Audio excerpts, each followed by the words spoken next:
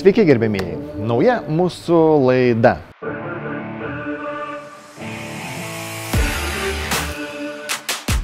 Tai šiandien mes turim penkias veiklos rytis išsivystę. Čia yra vaikams su specialiaisiais galūkdymosi poreikiais tokie dalykai, sensorikos. Man reiktų pardavimų skyriui nusiraminimo kambarį. Galėtumėt? Žinoma.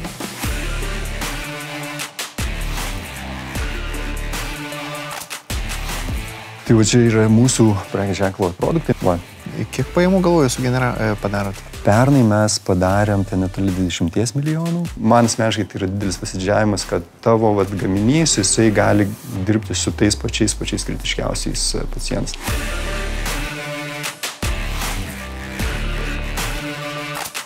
Tai kuom užsimat? Švietimas, saulės elektrinės ir interjeras. Drąsiai galima sakyti ateities antikvaras. Tik nusinti nuotrauką, kad sudaužyta, atsiunčia naują gaminį. Rimtai. Ja. Bijau darbintis kitur, ateiti darbo pokalbį, než, nežinau, nežinau ką pasakot.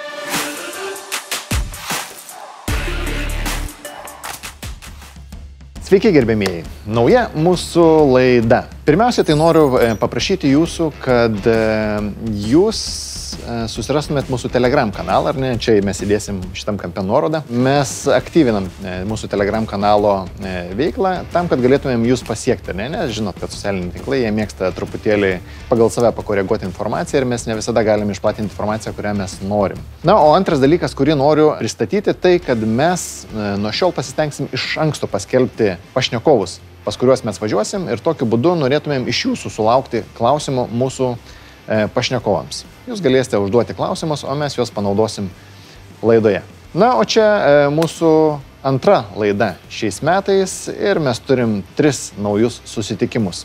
Tiesa, laidą mes pradedam Vilniuje, o kur mes ją pabaigsim, dar nežinau. Todėl pažiūrėkit laidą iki galo. Gerai? Na ką, mūsų nauja laida. Pasižiūrėkite.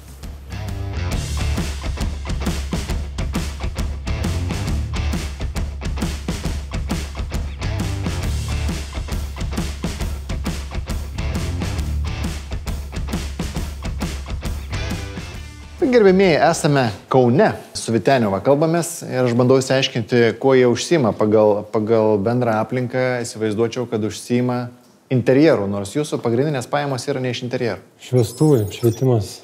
Apšvietimas, ne? Nes aš mazgas iš pradžių e, apie jūsų įmonę pagalvojau, betono mazgas tokia yra didelė kontora, galvoju, gal čia kaip nors susijusi, žinai. Mazgas šiaip e, sukurtas 91 metais kaip siūlų buvo, turėjo būti siūlų. Siūlų kažką, tai dar net realiai net nežinau kažką su mesginiais, bet taip ir nedirbo su mesginiais. Prasidėjo nuo, nuo, nuo kabelių, nuo elektros prekių. Tai realiai iki 2013 buvom vien tik apšvietimo įmonė. 2013 e, tėvas tada dar sakė, priekiausim saulės elektrinėm. Aha. O aš atėjęs nuo 2016, beros nuo 2014 metų dar dadėjau interjerą. Tai iš esmės apšvietimas, saulės elektrinės ir interjeras. Čia turbūt teisybės dėlį reiktų žiūrovom pasakyti, kad e, tu nesi samdomas vadovas, ne? Tai čia turbūt tai, tai esmė ir yra, ne, vers- verslo turbūt, kad e, jeigu būčiau geras vadovas, tai steigčiau įmonę, steigčiau įmonių direktorius, ne, o dabar vadinu amatu, pats direktorius kabina šviestuvus pas klientą. Nu, taip. Bet e, aš galvoju, pasivaikščiokim dar, pasižiūrėkim, iš čia prisikabinę tokių dalykų ir aš taip sakiau, kad jūs esate interjero, e, toks pirmas vaizdas dalykas, ne? Kaip įmonė interjero. Nu, prisidėjai lėkščių. Kiek jūs tų lėkščių parduodat, kam jų čia pridėta?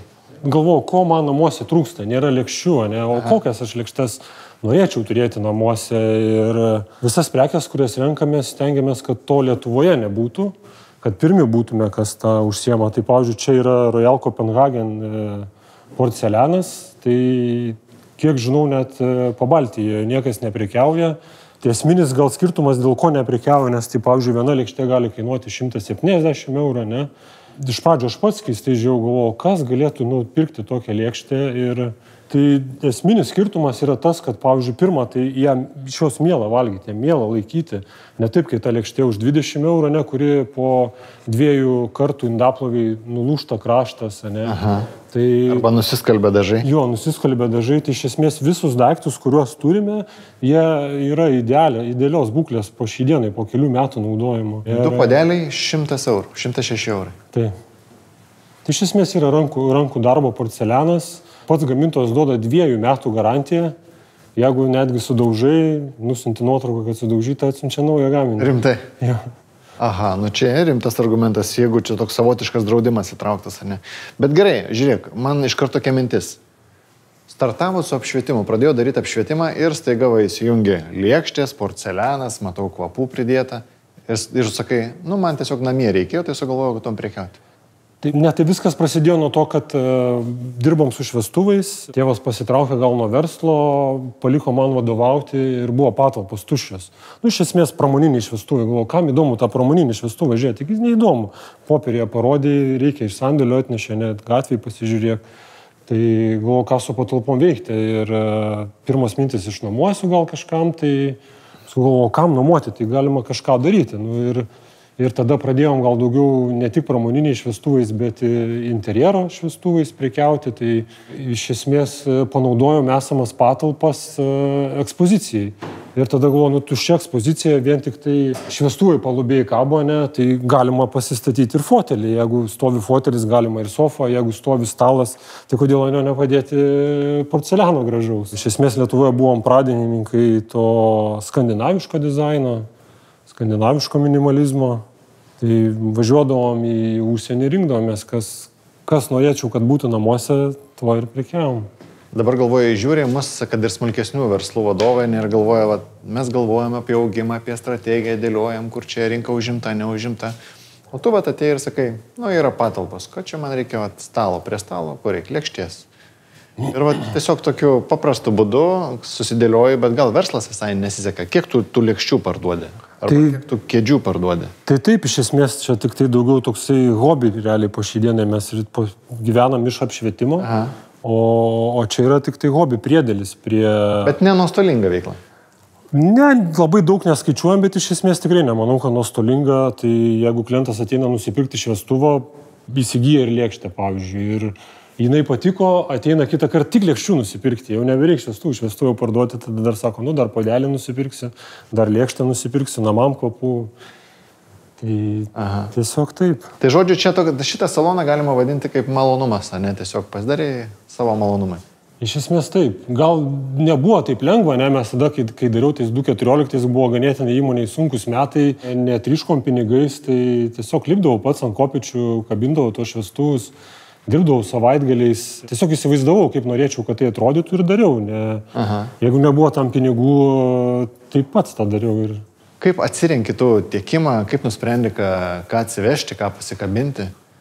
Tai kaip ir sakiau, pagrindinis mano noras, kad aš pats galėčiau tą šviestuvą pasikabinti pas save namuose, jeigu aš jo negaliu, jisai man negražus ir čia jisai nekabos. Tada dar ką renkamės, kad uh, jie negestų, kad būtų ilgamžiai. Kaip vienas prancūzas gamintojas man yra sakęs, kad uh, aš tik tai kuriu tokius gaminius, kurie uh, laiku einant nepigėtų, o brangėtų.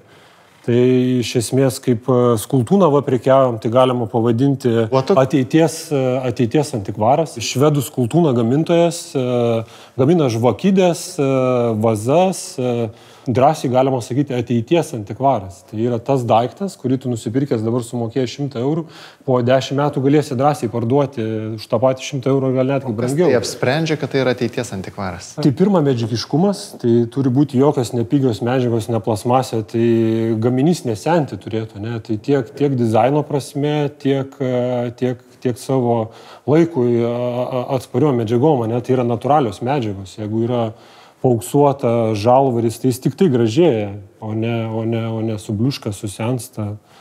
Bet aš galvoju, taip įdomiai, po savo daiktus pasakoju, o kas dar va tokio skirtinio? Nu, supratau, kad va lėkštės po 100 eurų ar ne, po 160 ir jos gali tapti antikvarinėm ar ne, arba netgi jas, jeigu sudaužai, gamintojas atsinčia atgal.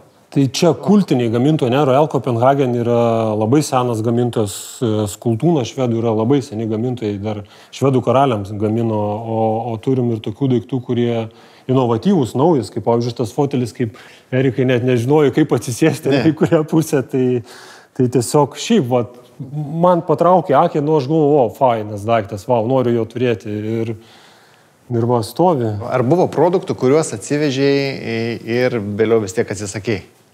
Tai žinoma buvo. Jeigu nori turbūt nenudegti, ne, kad tai, tai reikia rinktis kuo senesnį gamintoją, ne, tai jis jau yra laiko patikrintas. Mhm. su jaunais, naujais gamintojais yra nu, begalė problemų. Ne? Tai pirmą, jie patys nežino, kaip dirbti, pridaro begalę klaidų, genda, ne? tada e, pagaminti nesugeba, vėluoja. Mažai gaminių turi, pavyzdžiui, yra labai sunku, kas turi ten, nu, gamina tris kėdės, ne, nu ir kaip tau sukomplektuoti užsakymą, kad atsivežti daugiau kėdžių, tai su tokiais sunku dirbti, o, mhm. o su dideliais e, gamintojais visada lengviau. Tai buvo čia ir steliuko atsivežę, atsivežėm vieną, suskilo, fotografuojam, siunčiam, žiūrėk, suskilo, steliukas stovi, nieks ant jo ne, daiktų net nededa, ne. atsiuntė antrą steliuką ir tas suskilo. Tai, tai buvo tokių prancūzų, kur ir trečią steliuką teko atsiųsti. Kad... Aha. Tai žodžiu, e, renkant, ne tavo toks patarimas yra pažiūrėti, kad būtų e, su istorija gamintojas, kad ne, nu, ne pirmus metus veiktų, nestartuolis kažkoks, ne? Ir čia tave startuoliai užheitins šitoje vietoje? Ne, tai čia aš sakau, kad mažesnė rizika. Jeigu nori vėl didesnį biznį padaryti, tai geriausia su startuoliais dirbti, ne, bet turbūt reikia atsivežti 10 startuolių, tai 3 paės turbūt, ne, kažkaip taip. Tai... Mhm. O iš tokių va brangių, ne, dar dalykų kažką turėjai, kas finaliai vis tiek nepasiteisino? Tai aš sakyčiau, kad čia mano didžiausia klaida, aš kada pradėjau, tai tais va 2014 metais labai bijojau, ne, tais brangių gamintojų galvodavau, kas čia pirksiu, aš čia nieks nepirks, e, e, neįpirks, ne, tai čia manyčiau mano didžiausia klaida buvo, reikėjo tada kaip tik imti geriau vien tik tai geresnius daiktus, ne, ir, ir, ir, ir būti toks e, prabangesnis salonas, ne, mhm. ne, ne, nedaryti tos mišrainės, kas dabar yra. Mes, a, jeigu tu tai ne, ne, ir tenais kabo šviestuvo kopija ir originalas, ne, tai, tai pirma, tai su, tais, su tavim nebenori dirbti, kas originalus uh, gamina, ne, nes tu jau nebeturi vardo, o antra, tu pats ir prieš klientus negražiai atrodai, nes, sakys, tas tai kopijų parduotuvėlė tokia. Tai... Aha. O šiaip yra jau sluoksnių žmonių, kuriems reikia tų išskirtinių brangių daiktų? Tai vad, kaip ir sakiau, tais, tais e, pirmais salono atidarimo metais galvodavau, kas įpirks, ne? Tai e, mūsų dizainas yra skandinaviškas, minimalistinis, tai nėra klasikinis. Ne? Tai e, aš iš pradžių galvodavau, kad greičiausiai mūsų klientas bus e, ką tik baigęs mokslus, studentas, ne, nu, dirbantis, tik įsidarbinęs ir dabar iš kur jam gauti tam foteliui 1300 Tai jie greičiausiai neįpirks, galvoju, ne? Tada galvoju, turtingi klientai, ne, ką jie daro, greičiausiai klasikinį dizainą. Tai čia buvo tais 2014, 2016 metais, ką dabar pastebiu, kad, kad jau ir vyresnio amžiaus žmonės, gal ir mes suaugome, ne, per, per realiai jau 10 metų praėjo, mes patys išsiedukavome, ne patys, pačių skonis pasikeitė.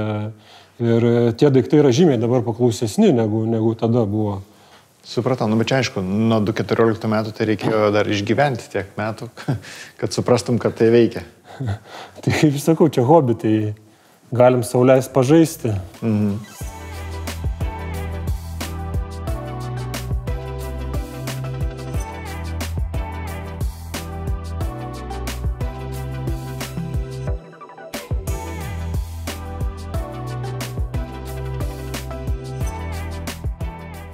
Aš vis ieškau verslų, kurie galėtų žiūrovui atskleisti daugiau mums nematytų procesų. Tai mes vis pasižiūrim, kas perka kompanijas, kas parduoda, kas prijungia, kas galbūt netenka, nukraujuoja, kai išeina kažkokie darbuotojai, o kas galbūt suintegruoja mm, vieną kompaniją prisijungdami į savo jau esamą įmonę. Tai aš galvoju, kad šiandien mes turėsim tokią progą ir įsiaiškinti. Aišku, kai mes lankom kiekvieną kompaniją, jie naudojasi, aišku, progą e, papasakoti apie tai, ką jie veikia. Normalu.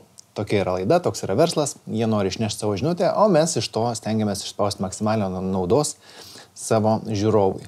Aš įsivaizduoju, kad tai yra mm, kopijavimų aparatų kompanija, bet tai pasirodo yra kur kas plačiau. Tai šiandien mes esame svečiuose pas įmonę, kuri vadinasi Biznio mašino kompanija.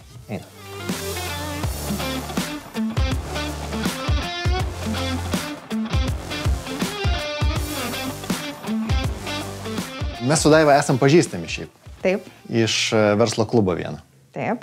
Aš galvoju, šiaip biznio mašina kompanija tai yra labai senas pavadinimas, ar ne? Labai senas. Nesinorėjau pakeisti jo kažkokiu momentu. Taip, buvo vienu metu noras jį pakeisti, bet kaip tik tai buvo tas metas, kada kažkuria prasme vėlgi, nu, tas retro kaip ir atrodė ant bango, žinai. Mhm. Ir gal buvo gaila, dėl to, kad nu, tokia istorija, jinai turi savo labai gilias šaknis ir žinomumas rinkoje yra stiprus. Tai tada mes susitrumpinom tiesiog BMK ir, nu, vat, taip ir... Gal mes pasivaikščiokim, pažiūrėsim ir pakalbėsim. Galim drąsiai, žinoma. Pažiūrėsim, kas čia pas jūs įdomiau. Mums turbūt reikia iškart žiūrovui paaiškinti, ar ne, kai, kuo jūsų kompanija užsima, nes aš šiaip įsivaizdavau, kad BMK tai yra kopijavimo mašinos, kažkodėl tai, -huh. bet uh, jūsų veikloje yra ne kopijavimas kažkiek. Yra, nuo kopijavimo mašinų mes pradėjom. Tai, buvo, mhm. vat, tai ir buvo įmonės įsikūrimo pagrindas ir priežastis. Ir mes pradėjom nuo Xeroxo ir iš tikrųjų per pirmus tris metus pradėjom vystytis komplementariai, priderindami kažkokiu vienokiu ar kitokiu produktu, kas buvo labai stipriai pakeliui. O ką reiškia komplementariai? Tai tiesiog, kad tai nereikalavo labai papildomų kažkokių žinių, ir tai buvo tam pačiam rinkos segmentui. Mhm. Tai reiškia, kad mūsų klientai, pas kuriuos mes ateidavom su tuo metu dar kopijavimo aparatais, net nes nebuvo spausdinimo funkcijos, jie buvo tiesiog neskaitmeniniai, e, pabuvęs santykėje su mumis ir matyt pasitikėdami tom paslaugom, kurias gaudavo, jie mums pradėdavo kalbėti apie dar kitus poreikius. Tai iš vienos pusės mes e, patys dėl savo vystimosi pradėjome ieškoti naujų sprendimų, Taip atsirado audio video sprendimai. Tuo metu irgi buvo labai paprasti, tik tai projektorius ir ekranas. Iš kitos pusės ir patys visada savo veikloje e, va, turėjom dvi tokias vystimosi strategijas. Tai vienas dalykas duoti tai, ko rinka nori, kam rinka yra pasiruošus, už ką pasiruošus mokėti. Ir kitas dalykas tai ieškoti nu, tokių inovacijų, kurios jau yra pasaulyje kur gamintojai yra pasiteisinę ir kur vartotojas gauna pridėtinę vertę, nes tai yra bet mūsų rinkai dar toli toli. Ir tai buvo ir apie tos pačius projektorius, kur tada projektorius kainavo tiek, kiek automobilis lengvasis ar nepadėvėtas, ar apie smarto ekranus ir, ir, ir panašiai. Tai žodžiu, ką tai mums reiškia? Tai mums tai reiškia, kad iš to pelno, kurį tuo metu išdir, uždirbdavom iš prekių, kurios buvo paklausios, mhm. mes visada nuo pirmos dienos investuodavom dar į tokį verslą, kuriam rinka nepasiruošus ir kur reikėdavo dirbti ir 2 ir 3 metus, kol atsirasdavo pirmas pirkimas. Tai kas šiandien sudaro jūsų veiklą? Tai šiandien mes turim penkias veiklos rytis išsivystę. Iš tų kopijavimo aparatų, apie kuriuos mes pakalbėjom, šiandien tai yra valdoma spausdinimo paslauga. Tada sekantis etapas buvo audio video sprendimai. Aha. Tai irgi nuo tų paprastų iki labai tai labai. Kopijavimas, audio video. Tada iš tos kopijavimo srities mes išsivystėme skaitmeninį pramoninį spausdinimą. Tai tik tris dabar išsivystėme. Taip, ir tada dar yra švietimas. Tai visos inovatyvios technologijos švietimui, mokyklai, mokytojai, kad mokymosi procesas būtų labiau įtraukiantis ir kad vaikai geriau suprastų tai, ką sako. Tai kopijavimas, skaitmeninis spausdinimas, švietimas. Taip. Viskas. Ne, ir dabar dar turim skaitmeninį turinį. Turim skyrių, kuris kūrė skaitmeninį turinį, kūrėm savo skaitmeninės pamokas ir dalyvaujam centralizuotose pirkimuose, kur mūsų valstybė kaip atsvara verslui irgi kūrė skaitmeninį turinį mokyklų, nu, vartotojams Aha. mokyklom. Bet čia jūs tik Lietuvos rinkai. Jo, Lietuvos rinkoje. Ir viskas su veiklom. Taip, penkias veiklas. ok, nu gerai. Tai bet iš vienos pusės jos labai skirtingos, iš kitos pusės jos kaip ir papildo viena kitą. O kiek žmonių šiaip dirba pas jūs? 70.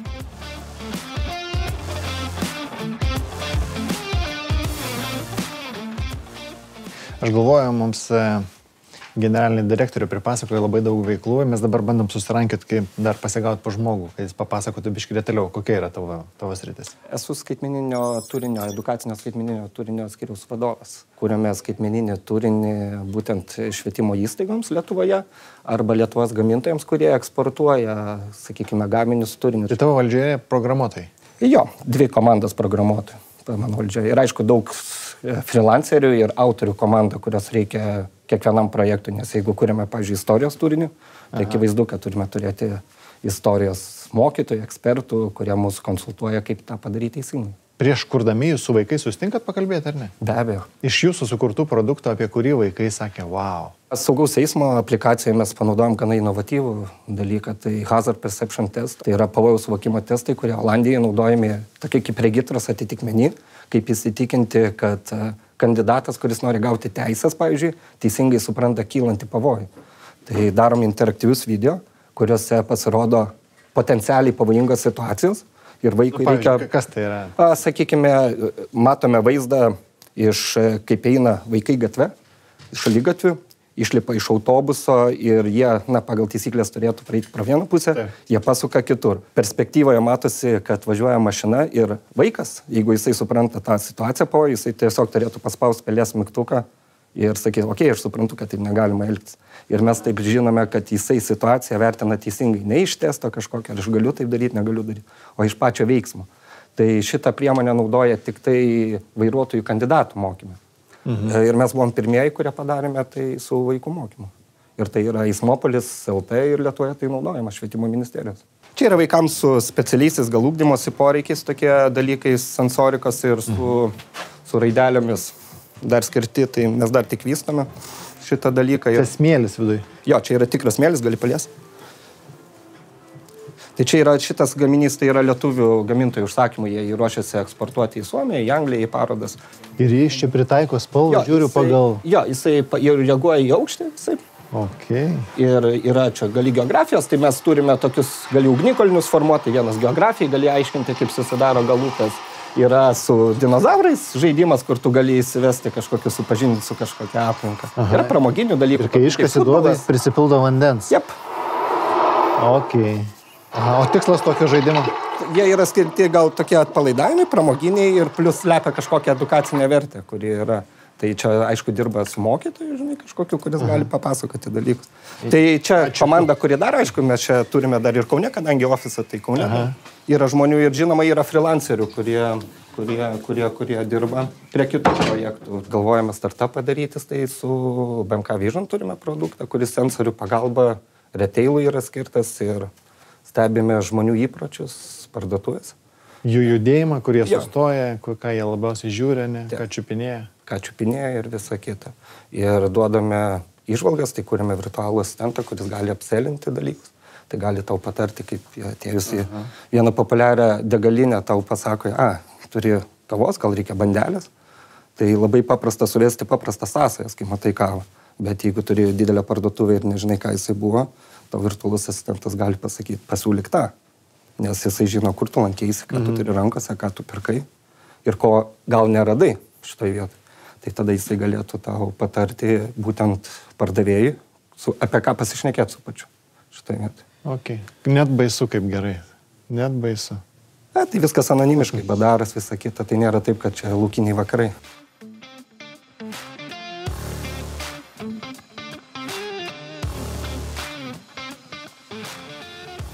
Mindaugai. Sveiks. Prekiaujat gamybos įrenginiais. Taip. Tokiais, va, kaip čia matau, čia 3D spausdintuvas, ne? Prekiaujam ir jais. Galiu pažiūrėti. Švietimo segmente, ja. Nes jiems aktualu tokio lygio gamyba ir čia Aha. vaikai mokosi ir va, testuoja, ką gali ateityje gamyboje pagaminti, galbūt jau masiniu būdu arba ant kažkokių tai galingesnių įrenginių. Jeigu taip jau žiūrėti iš tos gamybos perspektyvos, tai didesniais renginiais prekiaujam. Tai spaudos mašinom, visų užbaigimo, sakysim, ciklų, tai ten įrišimo, laminavimo, sėgymų įranga ir taip toliau. Ir dar turim atskirą tokį veiklos barą, tai pjaustimo sprendimai, kur CNC pagrindo technologija. Tu esi offsetinės spaudos priešas, ne? Gal. Tos senosios spaudos, kur su klišiam spausdina pigiai ar ne, tai tu esi už skaitmeninės spaudos. Aš gal ne... Parduodi įrangą, kas nori tą atlikti, ne? Gal nesu priešas, dėl tiesiog transformuojam tą verslą į naują skaitmeninį. Na, taip diplomatiškai čia sakai, bet jie tavęs nekenčia realiai. Aš praeitoj laidoj e, kalbėjau, man siūlė, sako, reikia išleisti knygą. Ar tavo įranga galėtų man padėti išleisti vieną knygą, pavyzdžiui, vieną, vieną egzempliorių? Jo, jo, be problemų. O ties kokiu, e, gal ne, ne tavo tema, bet ties kokiu kiekiu maždaug knygų e, skaitmeninė spauda jau pasidaro, kaip čia? Efektyvi. Efektyvi, lyginant su offsetinė spauda. Geras klausimas, aišku, priklauso nuo pačios knygos, na, koks jos turinys yra, ar tai yra balta knyga, ten kokio mhm. popieriaus, ten, ar iliustracijų yra, nėra bet tas kiekis gali būti ir šimtas knygų, gali būti ir penkišimtai knygų. Ar aš galiu padaryti iš to verslą labai neįdėdamas tai pastangų, nusipirkau tavo įrangą, nežinau, prijungiau prie interneto ir mano klientai patys spausina per mano printerį. Skaitmeninį spausintuvą? Taip. Tai nusipirkti įrenginį tikrai gali, netgi būte, gali pasistatyti techniškai, jisai nėra labai didelių gabaritų, Aha. nereikalauja kažkokių specifinių įvadų elektros ar dar kažko, bet vat jau su tais užsakymais bus sudėtingiau, nes čia jau platformos klausimas, kaip gauti užsakymus. Mes mhm. turim atitinkamus irgi sprendimus, tai va, tai su jais dirbam, arba, bet... Tai padarykit. E, darom. Kad man nieko nereikėtų, tik Tai tai nusipirkau spausdintuvą, pastačiau ar ne, ir mano klientai dėl to, kad aš turiu įrangą, vat, spausdinu. Tai Kaip bendrabutėje, kažkada turėdavai printerį ir tau neždavo tos referatus, diplominius darbus, ten po 10 centų spausdindavai.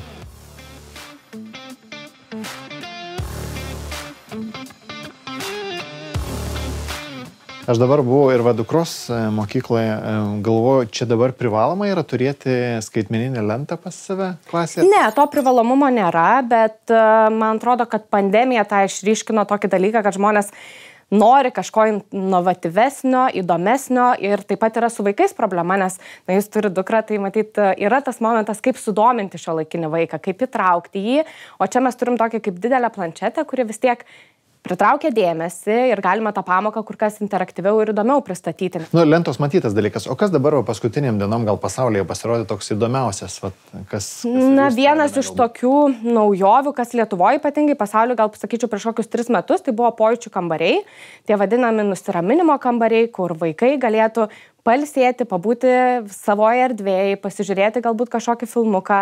Tai įvairūs multisensoriniai kambariai, kitaip vadinami su įvairiais burbulų vamžiais, šviečiančiais daiktais, kurie šviečia, turi skirtingas tekstūras. Tai čia ypatingai kreipiam dėmesį tos specialiųjų poreikių vaikus. Tokios erdvės va dabar yra tas ką kuriam ypatingai daug ir įrenginėjom nuo A iki Z, tai yra netgi nuo remonto kai kuriais atvejais ir iki pilno mhm. išvaizdos su- sugeneravimo to kambario. Man reiktų pardavimų skyriui nusiraminimo kambario. Galėtumėt pas... Žinoma. Tai paskambinsiu tada. Gerai.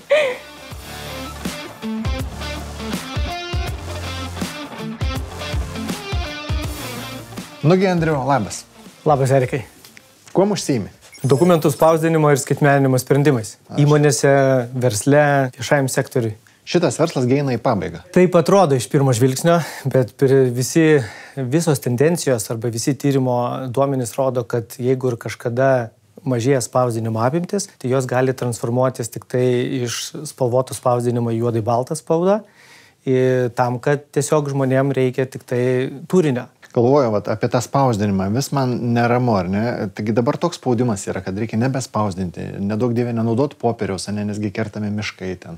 Ir iš vis popieriaus pramonė yra E, tai, blogai. todėl taip ir yra, kad mes esame tokioje hybridinėje aplinkoje, tai iš esmės mes savo klientams, galima sakyti, patys pjaunam savo šaką, bet iš esmės e, klientams sakom, kad jeigu turite tam tikrą procesą, kur reikia spausdinti, tu jūs spausdinkit, bet nereikalingus procesus perkelkite į skaitmininę erdvę. Ir šitoje vietoje su skaitmenus irgi jau galite padėti. ne? Visiškai taip. Ir ką jūs darote su tais dokumentais, kurie yra skaitmeniniai? E, Nu, kokia nauda iš jūsų? Tai duomenų analitikai.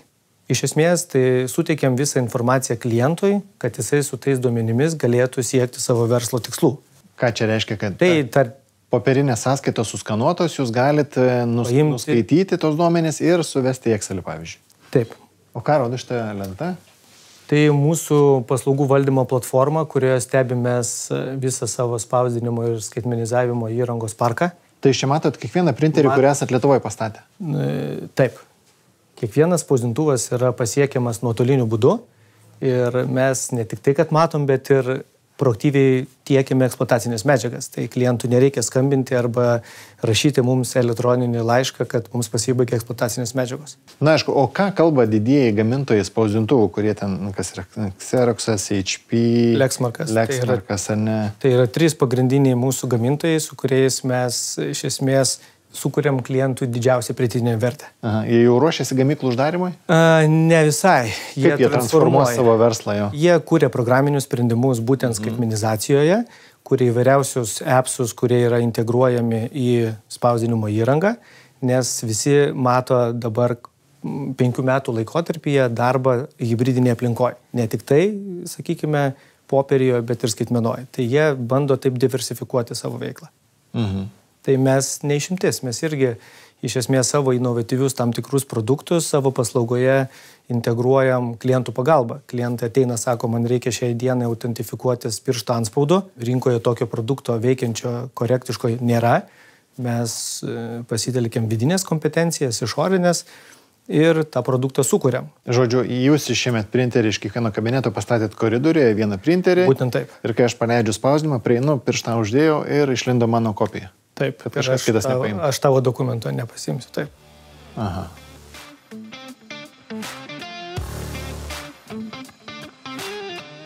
Mes dabar persikeliam trumpam į Sebo pastatą Konstitucijos prospekte, kur Vilius mums papasakos, kągi jie čia nuveikė, kokius sprendimus padarė, ar ne? Kas čia įdomiausio jūsų daryta yra?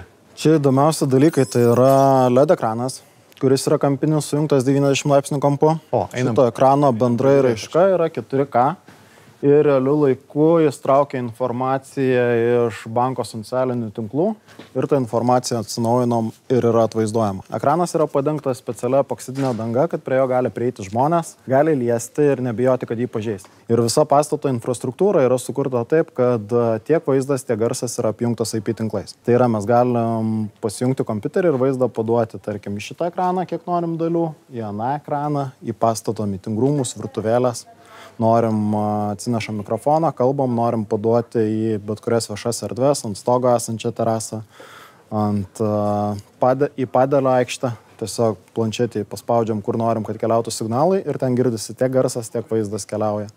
Yra sumontuotos netgi kameros filmavimui kai kuriuose mitingrumuose, kad galėtų transliuoti po pastatą. O kam čia to reikia? Čia užsakovas paprašė tokio dalyko? Ar čia, čia užsakovai norėjo pasidaryti inovatyviai ir jie norėjo nu, neapsiriboti savo sprendimus.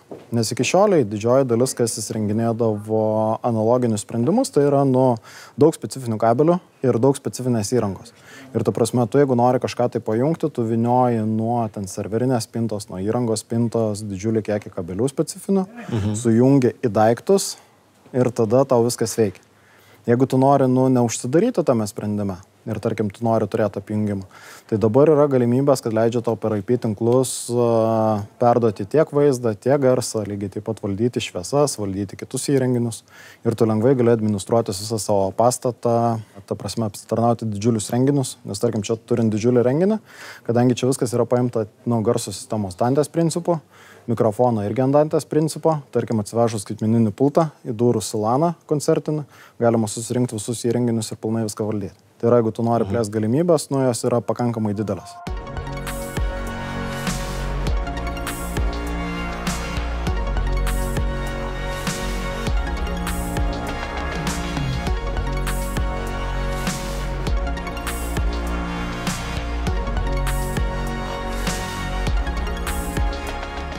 Kaip ir minėjau praėjusioje laidoje, egzistuoja daug verslų, sėkmingų ir labai sėkmingų verslų, apie kuriuos mes praktiškai nieko nežinome. Ne?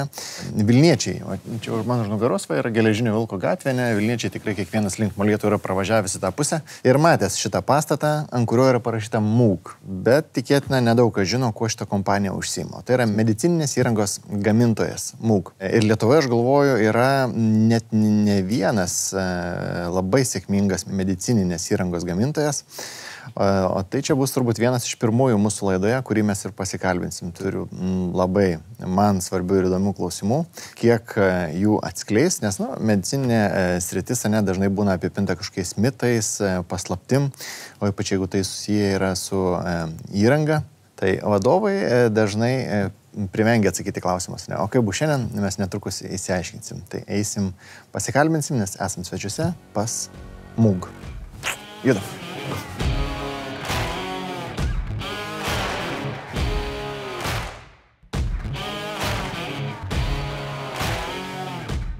O vienam kabinetas ne per didelis, ką?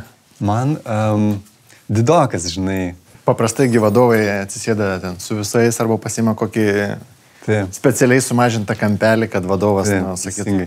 Tai jo, atsimenu, kad vieną kartą dar pas mus, kaip pačioj pradžioje, atvažiavo Mūgo CEO, sako, žinai, Mindaugai, sako, tavo kabinetas yra truputį didesnis negu mano. tai, nu, tiesiog toksai yra, kaip yra ir viskas, žinai. Kokį didžią iš vis mūgas yra? Gerokai virš 10 tūkstančių darbuotojų. Ir nu, dabar planas yra apie 3 milijardus dolerių apyvartą. Tai nu, čia yra visa jau didelė korporacija. Mhm. Bet čia prieš tai buvo lietuviška kompanija, ne? Jo, buvo lietuviška kompanija. Tai lietuviška kompanija buvo iki 2008 metų. 2008. Jo. Iki krizės. Iki krizės, jo. Tai per pačią krizę vyko labai toksai greitas, spartus pardavimas. Kaip tik aš pats buvau to pardavimo dalis. Ir, ir po 2008 gruodžio 31 dienos jau šitą įmonę yra mūgo dalis. Tai jau 10, 13 metų, 14 metų iš tikrųjų. Na, einam pasižvalgyti. Einam.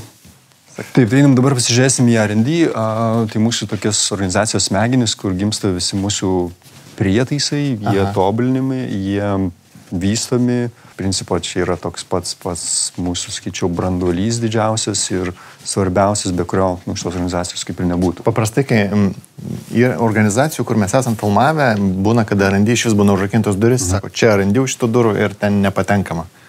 Jūs esat medicininės įrangos gamintojas, atrodo, čia labai slapti dalykai turėtų būti. Čiagi patentas ant patento turėtų būti. Ne? Taip, taip, tai patentų tikrai turim, bet, na, užrakint galim tas duris, jeigu nenorit filmuoti, tikrai taip, bet iš tikrųjų tai, nu, kažko labai paslaptingo iš čia nepamatysi, nes visos paslaptys yra kompiuteriuose, yra brėžiniuose, yra koduose programų, ar ne, kur, nu, jokia kamera to neužfiksuos, ar ne. Tai mes mielai galim pasidalinti tuo, ką Aha. turim. E, Šitoje patalpoje yra, yra daug žmogeliukų pas mus, e, Sigitas truputėlį gal plačiau papasakos. Tai... Randi vadovas. Kas čia pas jūs yra slapčiausia šiaip? Slapčiausia. Nu, vat jūsų konkurentas patekęs, čia ką labiausiai norėtų pamatyti? Manau, taip, kas matoma akim atvirai e, nerastumėm, bet turbūt didžiausia paslaptis yra IT sistemose, kompiuteriuose, programinė įrangoje, mhm. software. Galvoju, mes turim paaiškinti pirmiausia žiūrovui iš vis, ką jūs darot, mhm. koks, ką jūs čia gaminat.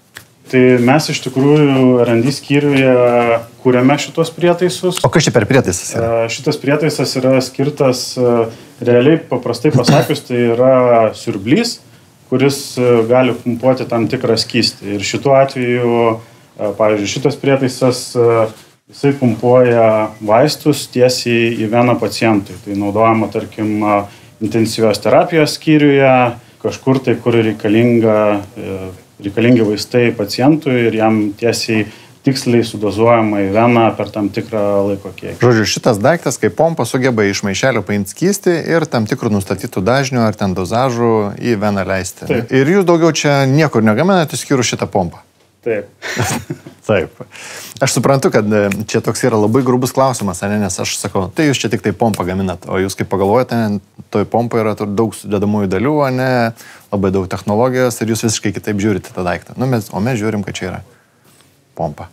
Taip, sutinku ir paprastam uh, vartotojui iš tikrųjų, kas yra matoma, tai yra hardvaras, dalis softo, bet iš tikrųjų mūsų tas visas didžiausias know-how slypi detalėse ir būtent e, produktą gali bet kas sukurti, jį pagaminti, hardvarą nesunku e, specialistam iš, išdevelopinti, bet e, tai padaryti, kad atitikti tam tikrus reguliacinius standartus, kad atitikti tam tikras kokybės valdymo sistemos reikalavimus yra, sakyčiau, mūsų toksai didžiausias išskirtinumas iš kitų įmonių. Kadangi kalbam apie žmogaus sveikatą, tai automatiškai yra svarbu, kad klaidos tikimybė būtų arti nulio arba nulinė. Kai jūs gaminate hardvarinį daiktą, ar jūs galvojat apie tai, kad, kad jūsų konkurentas ardys tą daiktą ir stebės ir kad jam būtų sunku suprasti, kaip kai kurios detalės pagamintos? Ar apie tai negalvojam? Negalvojam, nes iš tikrųjų mūsų pagrindinis fokusas yra paciento gyvybė.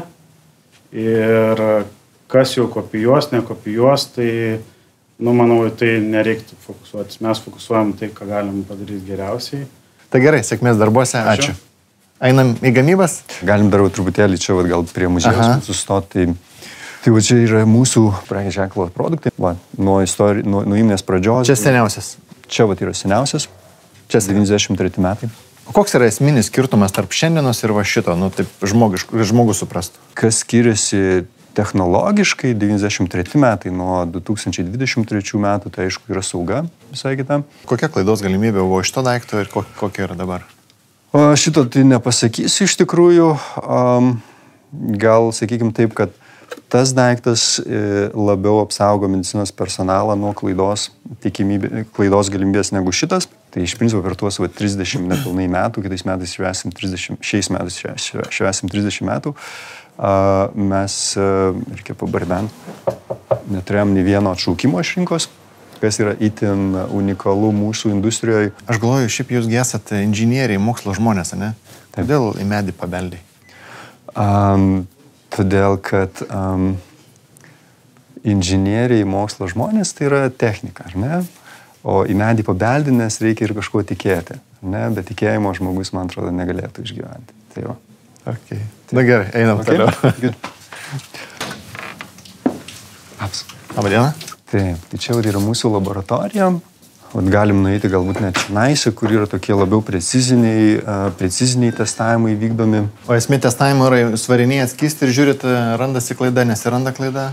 Sakykim taip, prietaisas, vat konkrečiai šitas prietaisas, jis gali dozuoti nuo mažiau negu mililitro per valandą iki 2000 ml per valandą. Nu, mes labai daug darom įvairių simulacijų, kad imituoti tikrą darbą ir patikrinti, ar prietaisas veikia taip, kaip nustatyta, ar, ar medicinos personalas gaus pranešimą ir taip toliau ir panašiai. Mhm. Bet ką tai reiškia, kad kad jūsų įranga negali naudoti jokio kito skyščio, nežinau, jokios kitos šlangutės, jokio kito sudėdamosios dalies, nes, nu, kas tai yra mililitras, jeigu bus kitokio, nežinau, tankio tas skystis, ne, tai tu jau jokį nepadozuosi. Tai vienis, vieni vaistai bus labai labai skysti, kiti vaistai gali būti tokie kaip, na, um, sirupas. Taip. Ne? Ir mūsų priesas turi gebėti dozuoti ir tą, ir tą. Ar ne? Tai, na, čia tiesiog mūsų priesas tą daro. Čia Aha. Neklausimas yra, ar ne? Plus e, mes gaminam, tai vad viena prietsų dalis yra mm, vaistų dozavimas, kita prietsų dalis yra maisto dozavimas. Maisto. Maisto, jo. Okay. Maisto tai yra tokių kaip, na, mišinėlių. Um, nu, jeigu grubiai pasakyti, tai na, tokie skeisti mišinėliai, kuriuos kūdikiai, kur, kur, kur, kur, kuriais mes maitiname. Žodžiu, kai žmogus negali normaliai tai. maitintis, jam į kraują paduodamas. Ne į kraują. Į kraują paduoda štai šitie prietaisai, tai yra parenterinis maitinimas, o enterinis maitinimas tai yra jau maisto padavimas arba tiesiai į skrandį, a, e, yra, tarsi, bus tiesiai į skrandį, tik tai skirtumas per kur, ar per, a, ar per tai vadinamą tą G-tubą iš skrandžio, ar per nosį įvestas zondas, ar per kitą kūno vietą įvestas zondas, bet jau bus maistas tiesiai į skrandį. Tai kam tas daroma? Tam, kad a, Iš principo, tu gali žmogų gyvą išlaikyti ir be maisto. Ar ne? Su parenteriniu maitinimu tu gali puikiausiai žmogų išlaikyti gyvą ir pakankamai ilgą laiką, tačiau kas nutinka, tai kad ilgainiui tavo skrandis pradeda jau atrofuotis iš principo, Aha. nes jisai negaudoms maisto. Žmogus yra toks nuostabus ir kūrinys, kad na, jeigu mes negausim maisto, žmogus sakys, man nereikia šito organo. Ne, Jeigu nenaudoju, reiškia. Taip, aš, aš pradėsiu jo jau atsisakinėti, ar ne? Tai maistas yra labai svarbi, svarbi dalis gydimo procese, ypatingai pacientams, kurie ligonėse arba gydimo programuose praleidžia labai ilgą laiko tarpą. Tai yra tiek nuo kūdikėlių iki lėtiniam lygom sergančių kažkokių tai paprastai vyresnio amžiaus žmonių. Ko gero, kuo toliau, tuo daugiau šalių ta, ta, ta, tos praktikos yra tobulinamos ir naudojamos. Supratau. Tai, va, tai skirtingai, skirtingai lygiai, bet taip, mes turim užtikrinti ir tas mažiau negu mililitro dozavimus ir tai paprastai naudojama kūdikėliams, neišnešiotiems vaikučiams, kurie dar guli inkubatoriuose ir, ir, ir reikalinga įvairi palaikančioji veikla tiems, tiems vaikiu, vaikiukams. Ir iš tikrųjų, man asmeniškai tai yra didelis pasidžiavimas, kad tu tavo vat, gaminys, jisai gali dirbti su tais pačiais pačiais kritiškiausiais e, pacientais, nes neišnešiotukai yra patys kritiškiausi pacientai. Mhm. Tai čia yra mūsų gamyba visa ir mes turim uh, kitą erdvę, kur vyksta prietaisų uh, aptarnavimas. Mhm. Tai prietaisų aptarnavimas, uh, gal truputėlį užbėgsim už akių, mes dešimtimis tūkstančių per metus aptarnaujam prietaisų iš visos Europos. Tai dar truputėlį, jeigu dėl rinkų. Privalomas aptarnavimas kažkoks. Neprivalomas aptarnavimas, ne. Dažniausiai tai būna prietaisai, kur arba vartotojas gražina po jau paciento pasinaudojimo, arba vartotojas gražina, nes sako, kažkas man sugedo. Tai, tai, tai mes tuos prietaisus remontuojam iš visos Europos. Jeigu žiūrėti iš rinkų prasmės, tai na, daugiau negu 99 procentai mūsų uh, pardavimų yra eksportas. Lietuvoje a, parduodam labai mažai, bet nu, dėl to, kad Lietuvoje yra tiesiog labai labai maža rinka. Mhm. O mes čia galime įkišnos ar? Jo, galim, galim, galim. Tai va, tai čia yra a, va, viena tokia gamybinė celė.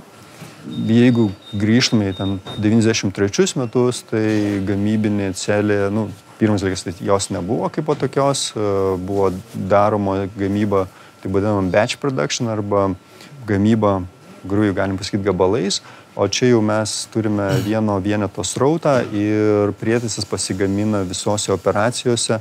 Čia, iš čia jau išeina pagamintas daiktas. Čia jau išeina pagamintas daiktas.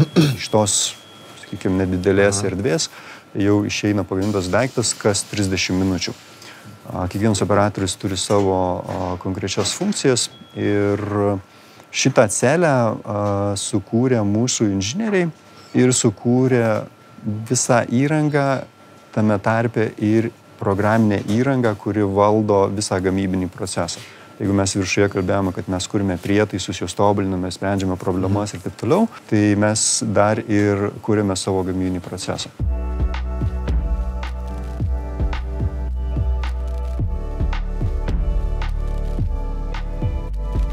Žinot, kam skiriasi aukšto lygio vadovas nuo uh, žemesnio lygio vadovo? Kuo aukštesnio lygio vadovas, tuo mažiau yra dokumentų pas jį ant stalo. Nu, galite atkreipdėmėsi tai. Bet galvoju, kokio lygio vadovas bebūtų, e, saugumas turbūt yra prioritetas ypač žvelgiant į šiandienos aktualijas. Taigi, aišku, kaipgi be mūsų draugų ir partnerių NordVPN. Matau, kad per pasaulį vis garsiau apie juos kalbama ir nebereikalo, nes paslauga tikrai verta dėmesio. Atsisiųskite telefoną, atsisiųskite kompą, susidėkit ir būkit e, bent kažkiek saugesni negu buvot vakar. Taigi NordVPN. Pasinaudokit. Tiesa, jeigu įsigysite dviejų metų prenumeratą, jūsų laukia papildomas bonusas. Taigi, NordVPN jūsų paslaugom.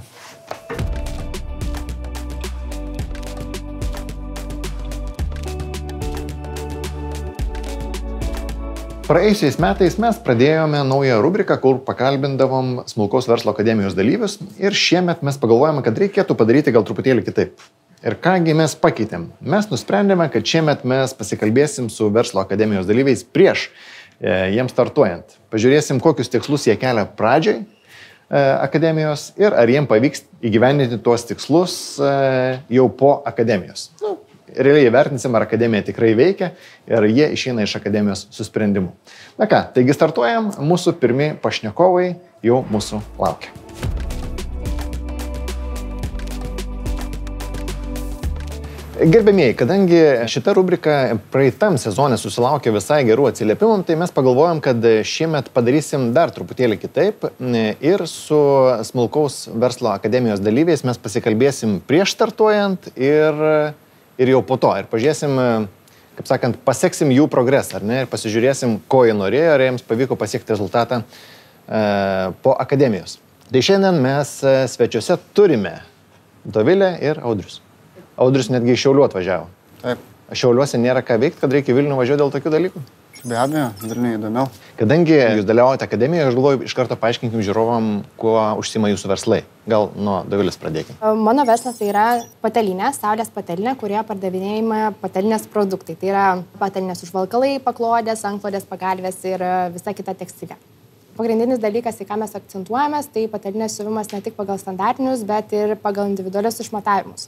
Nes e, realiai su tuo nesusidurintys žmonės e, kartais gali net nustepti, kiek daug žmonių e, atsiveža patalinę Tai yra anklorės pagalbės iš užsienio arba jie gauna iš giminaičių e, kaip dovana čia nais va tokį siuntinį patalinį iš užsienio, ar jie tiesiog keliaudami kažkur įsigyja, o atvažiavę į Lietuvą jie pamato, kad e, nebeturi kuo juos apirkti, kadangi kiekvienas e, regionas, gal kiekviena valstybė turi tam tikrus standartus. Tarkim, mūsų pabaltijo, pabaltijo visi, vat, Latvija, Estija, Lietuva ir Lenkija iš tikrųjų turi vieną standartą, bet paėmus į Skandinaviją išvykus, būna ir iš Amerikos netaip jau mažai, kas irgi įsigyja anklorės pagalbės, jie atveža čia nais, atvažiuoja ir neberanda kuo apvirkti patalinę, tai kreipiasi į mus. O šiaip Amerikoje ir Skandinavuose yra platesnės kaldros ar ne? Platesnės. A ne, tai lietuviai tiesiog viens kitą labiau myli ir glaudžiau miega.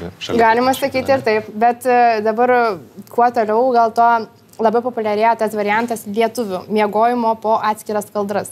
Klausykit, mes čia galėtumėm su jumis atskirą tokią psichologinę rubriką padaryti, ne? nes čia, galvoju, svarbus aspektas yra, kad žmonės renkasi miegoti po atskirom kaldrom dėl kažkokių tai priežasčių, ne? Gerai, Audriu, o tavo verslas koks? Pelningi sprendimai, tai finansinių paslaugų įmonė, teikiam paslaugas finansinės, tai nuo įmonės teigimo, buhalterinės apskaitos, finansų analizės ir finansų vadovo nuomos paslaugų. Kadangi e, akademijos jau buvo pirma paskaita, ar ne, man atrodo? Taip. E, vis tiek ateinant į akademiją, jūs išsikėlėte savo kažkokius iššūkius, ar ne? Kas, kas pas jūs yra didžiausia problema šiandien, ką jūs galbūt norėtumėte išspręsti akademijos dėka, ar ne? Galite įvardinti, vat, kokios problemos pas jūs šiandien yra tokios rimčiausios? Aš nežinau, ar čia galima įvardinti kaip problemą, čia gal yra toksai e, tikslas, e, tai yra eksporto startas. Tai yra tikslas, kuriuo e, reikėtų ir norėtųsi judėti į priekį, mhm. bet e, trūksta žinių, trūksta informacijos, trūksta iš tikrųjų realiai visko, tu žinai, ko tu nori, bet nežinai, nuo ko pradėti. Tai gerai, Dovilės užduotis yra su eksportu, su patalinė padaryti eksportą. Taip. O tavo kokia užduotis? Mano užduotis būtent jau minėta finansų vadovo nuomos paslauga, ją išvystyti. Tai na, aš žvelgiu ją ir mes visą komandą žvelgiam kaip ir, nu, tokį kaip ir naują produktą. Kodėl tai yra kaip naujas produktas, mes esam pratę dirbti su smulkiu verslu, buhalterinė apskaita tai yra įstatymų numatyta, mhm. aiški struktūra, ką reikia padaryti finansų nuomos paslauga. Jau vertės pasiūlymas ir šiek tiek kitoks yra daugiau ir vidutiniam verslui skirta paslauga. E, taip pat ir žmogiškojo kapitalo pritraukimas, kitokie specialistai, tai būtent va šios paslaugos išvystimas, vertės pasiūlymo išsigryninimas ir taip pat mastom ir apie užsienio rinkas su šia paslauga. Aha, nu, su užsienio rinka galvoju gali būti iššūkių, nes yragi reguliavimai neskirtingi, mokestinė e, bazė kitokia. Buhalterinė apskaita taip, finansų valdymas, jis yra dėsniai ir tie tie patys. Labai gera tai pastaba. Va, jo, tai čia į tą pusę tai... Labai gera kaip... pastaba, nes buhalterija yra daugiau sureguliuota, o finansuose logika yra iš principo taip. labai panašiai. Principai tie patys. Taip. Ar galėtum taip trumpai e, paaiškinti, kodėl reikia finansų direktoriaus pozicijos, nu, at jūs nuomojat, ar ne? Taip. Kodėl ją reikia nuomoti? Ir ar to reikia tik stambiam verslui, ar to reikia ir mažesniem verslam? Rekomenduotina yra ir smulkiam, vidutiniui jau kaip ir yra būtina, o kodėl tai yra svarbu. Augant įmoniai, netgi ir pačioj pradžioj finansų specialisto, nu, buhalterio kompetencijos užtenka.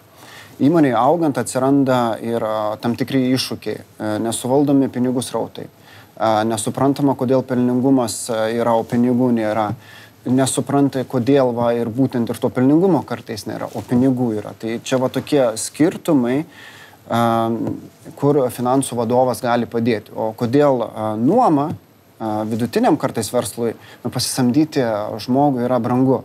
Nuoma šitą problemą išsprendžia. Gauni koncentruotą paslaugą, būtent va, tam tikriems iššūkiams uh, sutvarkyti, tam tikriems uh, tikslams pasiekti. Nu, tai tas pats va, pinigų srauto valdymas. Uh, įmonė gali veikti pelningai, bet pinigų grinų neturi. Nu, kažkur yra problema. Tai ar ten gautinos sumos yra nesutvarkytos, ar ten kažko nesuvaldo. Tai čia, kur finansų vadovas ateina į pagalbą, tai jo kompetencija yra gilesnė, jis supranta verslo procesus, jis moka skaičių kalbą paversti paprastą kalbą, kad vadovas, savininkas suprastų, ką jam daryti. Ir va gaunas tą partnerystę tokia toje vietoje. Nebūtina jo pasisamdyti, tai gaus ten 10 valandų per mėnesį, galima gerų tikslų pasiekti. Ir aš žiūrovui galiu patvirtinti, kad tikrai, e, nors atrodo, kad jums gal ir nereikia to finansų direktoriaus, bet kaip pavyzdys mes irgi turim tokį vieną startuolį, kur yra daug projektų vienu metu einančių ir kai tau reikia susekti, kada reikia susimokėti, kada reikia pirkimus padaryti, kada reikia atsiskaityti, e, kada reikia išmokėti algas, kažkas eigoje suvėlavo, ar vėliau pagamino, ar vėliau prisidavė. Ir jeigu yra daug projektų, koks 20-30, jau ten atsiranda reikalų suvaldyti srautą. Ne, nepriklausomai nuo to, kad projektas yra pelningas ir kad kiekvienas projektas uždirba, e, bet jeigu tu neturi pinigų, gali tiesiog bankrutuoti vien dėl pinigų srauto. Tai čia, čia tikrai rekomenduoju atkreipdėmėsi. Taip. Pinigai tai yra kaip kraujas verslui. Nėra kraujo, nu, raumo neveiks. Tai jeigu pelnas yra kaip raumenis, bet jeigu nepaduosim kraujo, tai sustos visas procesas. Pirma paskaita apie ką buvo? Pirmam paskaita toksai buvo įvadas e, realiai į, į visą tai, ką mes, e, ką mes e, mokinsimės, ką mes mokinsimės ateityje. Tai ir dabar būtent antradienį, tai yra rytoj, mes turėsim paskaitą tą pačią lyderystės temą mes turėjom tam tikrą e, namų darbus, taip pat turėjom. E, pagal tos namų darbus mes įsijėm, mums kyla klausimų, galbūt sprendžiant, ne, kadangi, nu, kaip ateini, va, studentas į paskaitą, tau papasakoja dėstytojas, mhm. bet tu, kai turi pasidaryti visą tai pats, tu pamatai, kad, va, atrodo, čia buvo aišku, dabar nebeaišku, kadangi jau pačiam reikia pasidaryti būtent e, tiesiogiai su savo verslu atsakyti į tuos klausimus susijusius. Šiaip dar vienas dalykas irgi va, prisiminiau, kol pasakoju apie mentorius, kas man visai irgi patiko. E, kai va, Pavelas Petrauskas pasakė, kad e, iš tikrųjų mes turėtumėm skirti, nu, plius minus apytiksliai, tarkim, 5 valandas per savaitę, tiesiog apmąstymam, kaip mums e, judėti toliau ir kam daryti, galbūt sukurti kažkokias strategijas, kokius pokyčius, nes mes tokiam gyvenam, kaip ir atrodo, burbulė, kur atsikeliam ir žinom savo kasdienius darbus, darom, darom, darom, baigėsi diena, kitą dieną vėl ateinam, čia pat, turim padaryti tuos ir tuos ir tuos, bet nebūna taip, kad vat, sustoji ir galvoji, o ką aš vat, galėčiau pakeisti, kokią naują strategiją sukurti. Ir vat, čia toksai kaip ir pasiūlymas, kad uh, truputį kartais reikia užmiršti tos kasdienius darbus arba juos perduoti kitiems žmonėms, kurie gali tai padaryti. Ir nebūtinai tu turi viską daryti, tau gal svarbiau yra tas toksai sustojimas ir bandymas tuos iššūkius naujus sugalvoti, įveikti, tą strategiją kažkokią sukurti. Aš galvoju, Audriu, tie, kas nedalyvauja akademijoje, gal tu gali išduoti kokie namų darbai, gal jie galėtų irgi pasidaryti. Išsigryninti savo verslo vertybės, išsikelti tikslus. Čia iš pirmos mūsų paskaitos va tie namų darbai, vertybės ne tik savininko vadovo, bet ir vertybės įmonės. Aha. E, tai šitą mes namų užduotį turim, ją darom, rytoj peržvelgsim ir tikslai išsikelti tikslus. Aha. Dar klausimas. Jūs važiuojat į akademiją, Smulkaus verslo akademiją, ne? Kodėl reikia važiuoti į akademiją? Taigi gali išsigūglinti viską.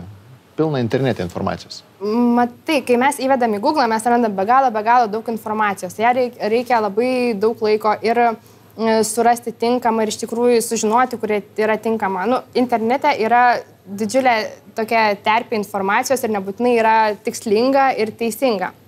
E, čia mes į programą ateinam, kuomet susitinkam su mentoriais, su dėstančiais šiandien dirbančiais žmonėm, kurie turi skaupę tikrai nemažą bagažą ir teorinių žinių, ir to labiau patirties, ir jie gali pasidalinti šitą visą informaciją su tavim ir ne tik bendriniu tokiu būdu bet konkrečiai apie tavo verslo sritį, konkrečiai a, pakalbėti apie tavo problemas, tavo lūkesčius, tavo būtent sferą visą. O ne tai, kad vat, internete ką tu randi bendrai ir paskui dalelytėmis tu gali savo vieną dalelę pritaikyti, kitą dalelę mm. ne tavo verslo, ne, vat, pavyzdžiui, viena finansams, kita, kita pataliniai, o ten yra žmogus, kuris dirba tiesiogiai su tavim ir su tavo klausimais.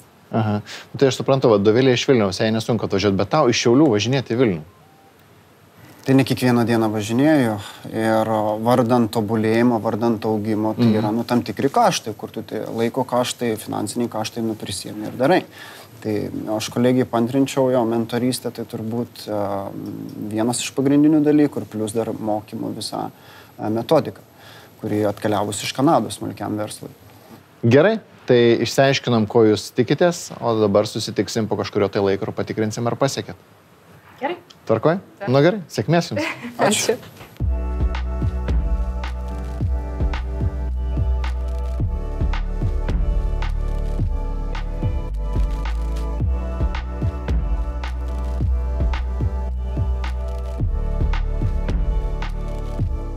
Toks tradicinis klausimas, ar ne?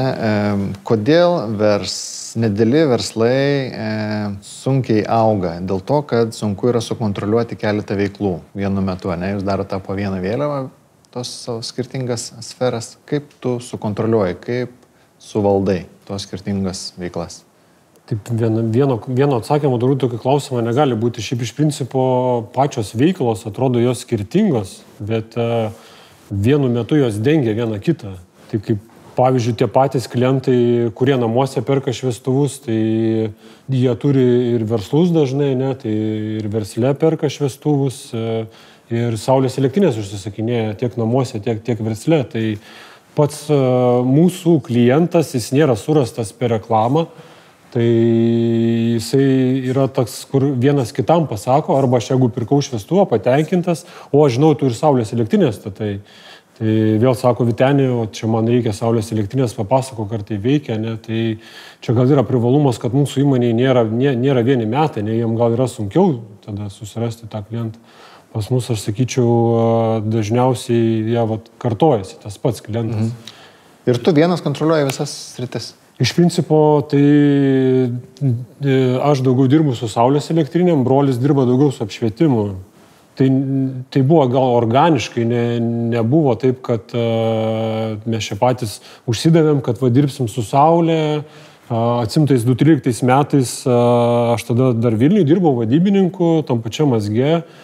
Ir uh, tėvas atėjo, sako, prekiausim Saulės elektrinėm, o čia reikia sumontuoti ir Ir, ir visi tada aplinkų sakė, ką, saulė, taigi Lietuvoje saulės nėra, aš ir pats toksai buvau, sakau, nu čia kas per nesąmonę, taigi va, šviestuvais priekiam šviečia, viską išmanau, bet uh, po truputį pradedi domėtis, kaip veikia, kodėl, kokios technologijos. Mhm. Ir, uh, ir iš esmės tai va brolis dirba su apšvietimu, aš dirbu su saulės elektrinėm labiau. Uh, Ir prieš tai va su salonu irgi realiai pats, pats dirbdavau šeštadieniais, pats kabinau to šviestus, dabar jau dirba darbuotojos, kuriomis aš labai patenkintas, ne, ir nereikia pačiam tiek, tiek visko daryti kaip seniau. Tai seniau ir prekės keldavau elektroninę parduotuvę, ir, ir kaip sakiau, šeštadienį ir klientus aptarnaudavau, dabar to man nebereikia daryti tiesiog viskas ir be manęs puikiai sekasi. Tai. Bet turite atsitelinę. Tu vienas sfera, brolis, e, kitas. Brolis. Ir kažkas dar va šitą parduotuvę irgi prižiūri. Ar... Nėra vadovo, gal skaičiu, tik parduotuviai. Aš taip retkarčiais įeinu, pasikalbam, kaip sekas, kad uh, viskas gerai, kokie, kokios problemos, susisprendžiam tiesiog ir, mhm. ir, ir organiškai taip. Nu gerai, e, kadangi Saulės tema e, nėra ir man svetima, ne, ir mes gal nesam visiškai konkurentai, bet kažkur gal kažkiek susidurėm. Tai mano klausimas yra toksai. Saulė, Saulės panelės, Saulės elektrinės tai yra labai trumpalaikis verslas. Už dviejų metų jų nebereikės. Ar jūs tai esate svertinę? o kas pasakys, kas bus iš dviejų metų? Tai čia... Dirbom ir atėjo karantinas ir e, ne vieno darbuotojo nėra. Aš galvoju, aš tai eisiu darbą, atėjau ir galvoju, nu ką čia daryti, nieko nėra, tuščias ofisas. Nu ir skambinu vienam klientui, sakau, nu mes to pažadėjome elektrinę statyti rytoj, žinai, sakau, o kaip tu galvoji, galime atvažiuoti. Ai, žinai, čia visi gal to serga, mirsim čia, toj krizė, nereikia man tos elektrinės. Tai sakau, klausyk, taigi atvirkščiai, žiūrėk, tu gal neturėsi pajamų, bet turėsi elektrinę pasistatęs, tau nebereikės už elektrą mokėti. O, tai sako, gerai, rimtai, statykit. Nu ir tada galvoju, ką čia daryti visiems tada, kuriem turėjom statyti, visiems telefonų pats ir sakau, statysim elektrinės ir visi patenkinti tą mintim, sako, jo, čia gal krizė. Tai kur e, klausimas buvo, ar reikės po dviejų metų? Nu.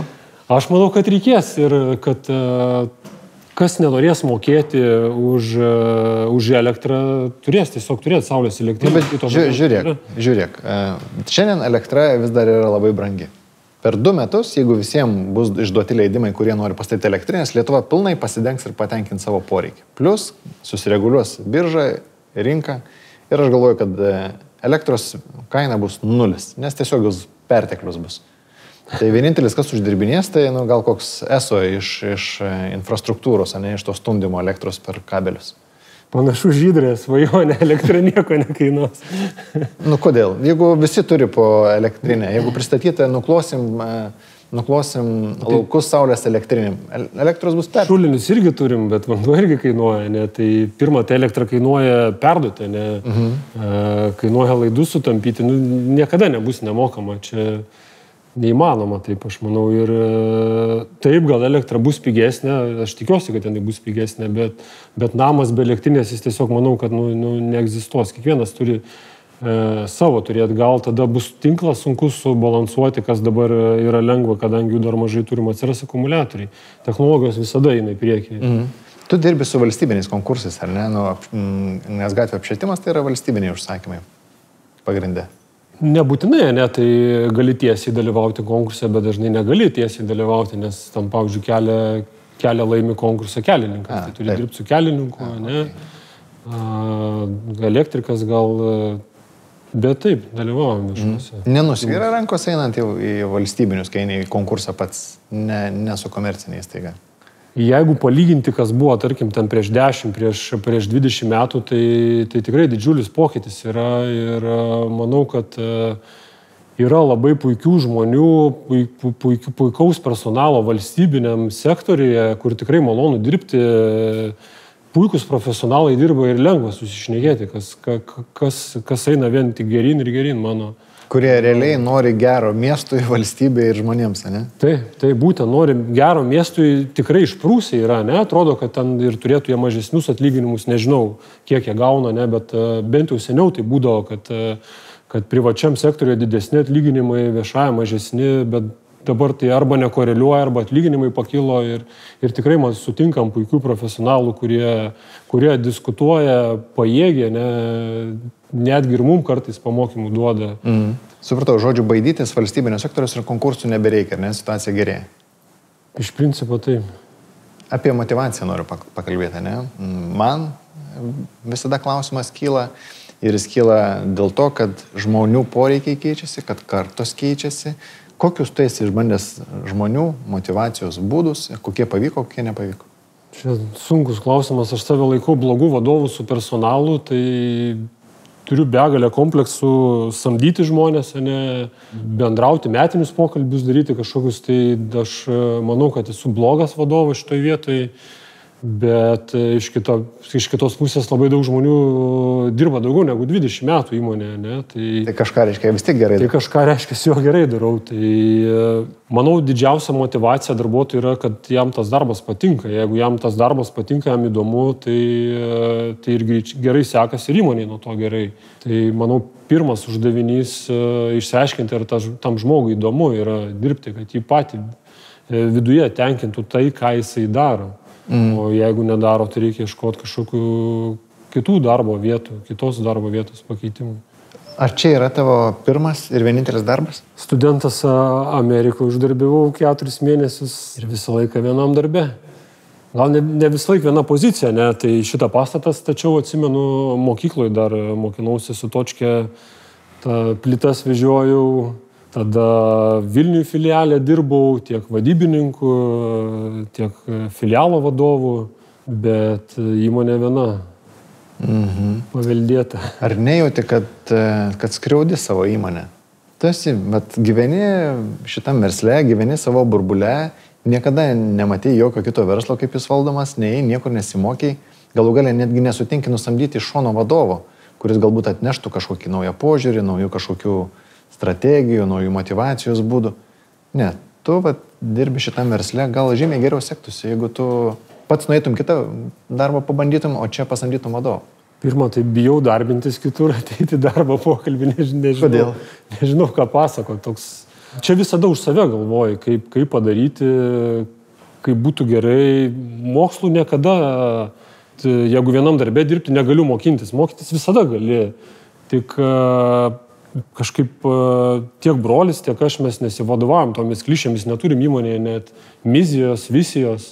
E, nėra tas aprašyta, nėra kalama kiekvienam darbuotojui galva, kad čia mūsų va, vizija ir misija yra tokia, va, mes čia kažkur tai būsime, e, nesivadovaujam tais pagrindiniais verslo principais, kažkaip darom, kas patiems smagu.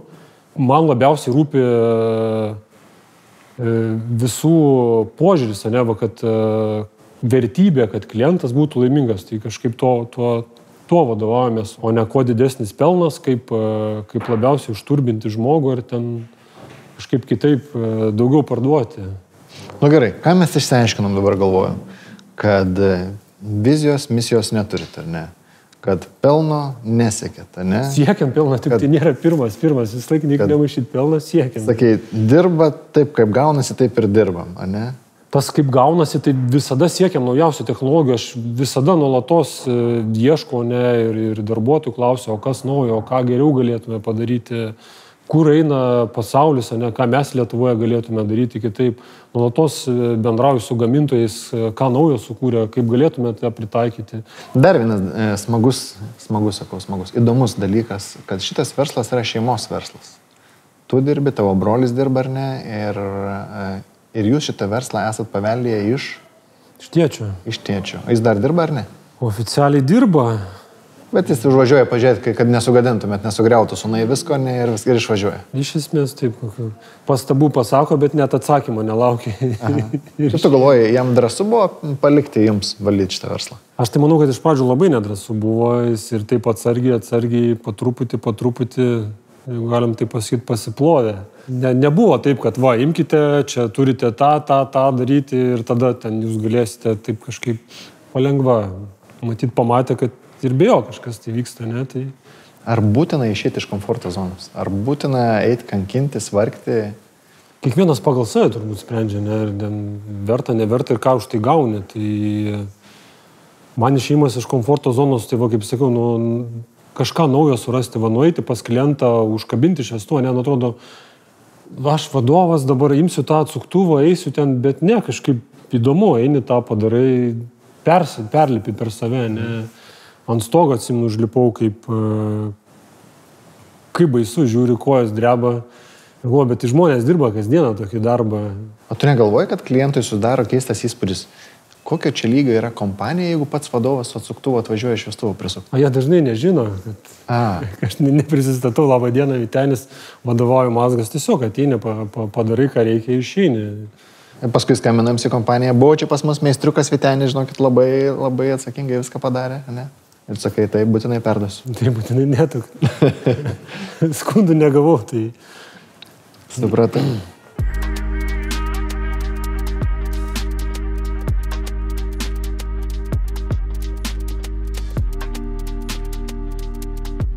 Nauji metai, nauji planai. E, jeigu praeitais metais vis dar svarstėte, ar jums verta pradėti galbūt savo elektroninę prekybą, arba jeigu jūs tiesiog turit didmanos kažkokį tai verslą ir dar nesugebėjot jo suskaitmeninti iki šiol, tai aišku, Verskis LT, mūsų partneris, jums turi sprendimą, kaip ir jau esu nekartą minėjęs, kad kuom gera jų paslauga, kad jie yra jau išsprendę daugelį klausimų, dėl ko jums nebereikės su galvos. Jie yra susintegravę logistus, buhalterinės programas, tai jums visiškai nesunkiai jūs susimportuosit savo produkciją ir galėsit gana greitai pradėti e, prekybą internetu.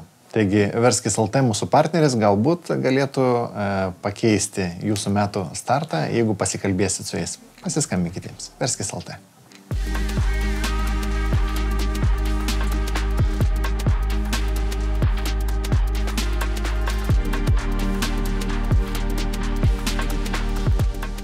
Kodėl jūs nesifokusuojat? Man atrodo, klausė čia ir, ir Bransono, ir visų šitų gurų, Amazono ir visų kitų, ne? Esmė, kame yra esmė verslo, tai sakė fokusas. Visi taip. sako fokusas. O pas jūs fokusų nėra toks vaizdas, ne, jūs išskaidėt, kodėl taip daro? Aš pasakyčiau, kad kaip tik stipriai yra.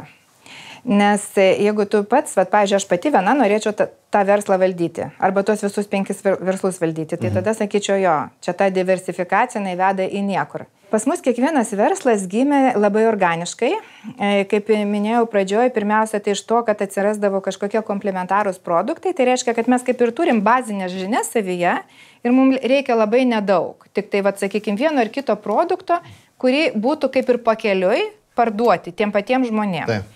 Tai kažkiek tai laiko mes gyvenam vat taip, kad atsirado vienas, antras, trečias produktas sprendimas. Ir netgi visa organizacija taip pat e, turėjo vieną pardavimo vadovą, vieną serviso vadovą ir skirtingų dalykų.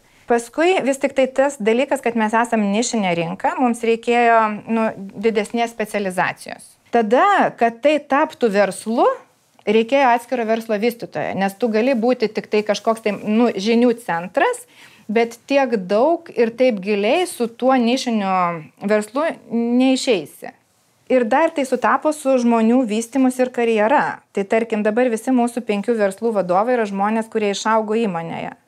Tai sakykime, jie gal jau dirba ir 15 metų ir taip mm. toliau ir atėjo nuo paprasto vadybininko ir tas, ta puokštė savybių, kurias žmonės turėjo ir tai, kad įmonė investavo į jų vystimasi, ūkdymasi ir vadovo kompetencijų įgyjimą, leido tiem žmonėm išvystyti tą verslą iki tokio lygio, kad jis jau tiesiog, nu taip, jis yra bendram įmonės laukia, bet mes nekartą svarstėm, galbūt kažkurios verslus iš principo reikėtų iškelti iš BMK, jam mm. duoti atskirą pavadinimą ir tiesiog paleisti į gyvenimą. Bet nu vėl, vienus sprendimus darytumėm vienaip, jeigu būtumėm nu tas savarankiškas, vėlgi privataus kapitalo abas, bet kadangi esam įmonė, bet kurią įsigijo atėję, tai šitoje vietoje aš vis tiek į mūsų tą perspektyvą, nu tai žiūriu santykinai, kad mes vis tiek vieną dieną turim tapti jų dalimi. Tau teko, e, su, e, kaip čia, būti viena iš steigėjų BMK. Ne? Taip.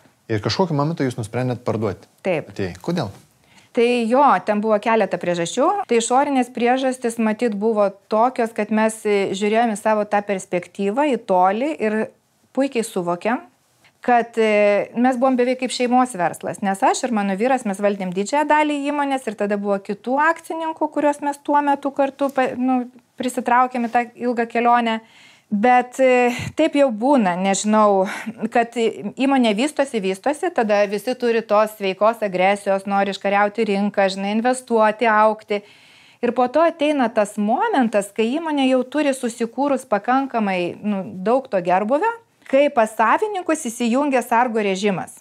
Ir pavyzdžiui, tada jie galbūt, ne, nu, vienas dalykas dar plus, kai savininkai dirba įmoniai, tada, pavyzdžiui, kitam žmogui, nu, tos vietos visos, nu, jos nėra rezervuotos, nes tol, kol jie yra, jie sautas, nu, pozicijas, nesprendžiančias išsaugo, tada žmogus paauga ir jo augimas apsiriboja, tada savininkai galvoja, ar čia tą naują verslą čia taip vystyti, ar, ar nevystyti, ar jisai bus naudingas ar nenaudingas, tai va irgi pradėjo kvešionuoti, sakykime, daug mūsų sprendimų plėtrai šitai, nes jiems atrodė, kad va mes tą mokam, tai davai čia ir būkim ir, ir tą darykim. Tai va, manau, kad pirmas tas ženklas buvo toks, kai įsijungia tas nusargo režimas, kad ar, ar mums to reikia. Tai reiškia, kad, sakau, kažkur ta riba yra ir tada žmogus ją arba peržengia ir toliau supranta, kad taip aš auksiu ir nuo klaidos mes nei vienas neapsaugotas, aš galiu padaryti tą klaidą ir tada galiu prarasti ten tų pinigų. Nu, bet toks gyvenimas mes kiekvieną dieną išeinam į rinką su klausimu, ar čia aš laimėsiu ar kitas. O išorinės buvo dar tokios sąlygos, kad e, būtent tada įvyko verslo modelio transformacija va šitam spausinimo versle.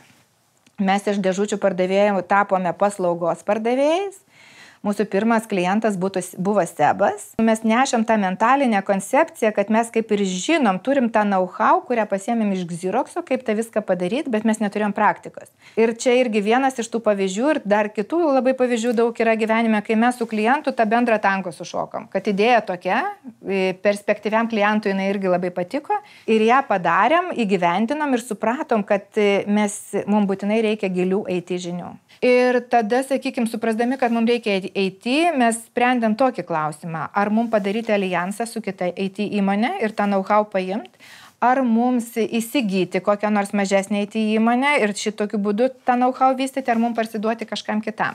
Tai aišku, lengviausias būdas buvo sudaryti alijansą ir mes sudarėm su viena IT įmonė alijansą, bet ta įmonė, kadangi yra IT, vieną kartą padarė su mumis sprendimą ir už to sprendimo, reiškia, sėkmingos pabaigos beldžiasi į Xeroxo duris ir sako, žiūrėkit, mes irgi norim būti jūsų partneriai, kam mums ta BMK reikalinga.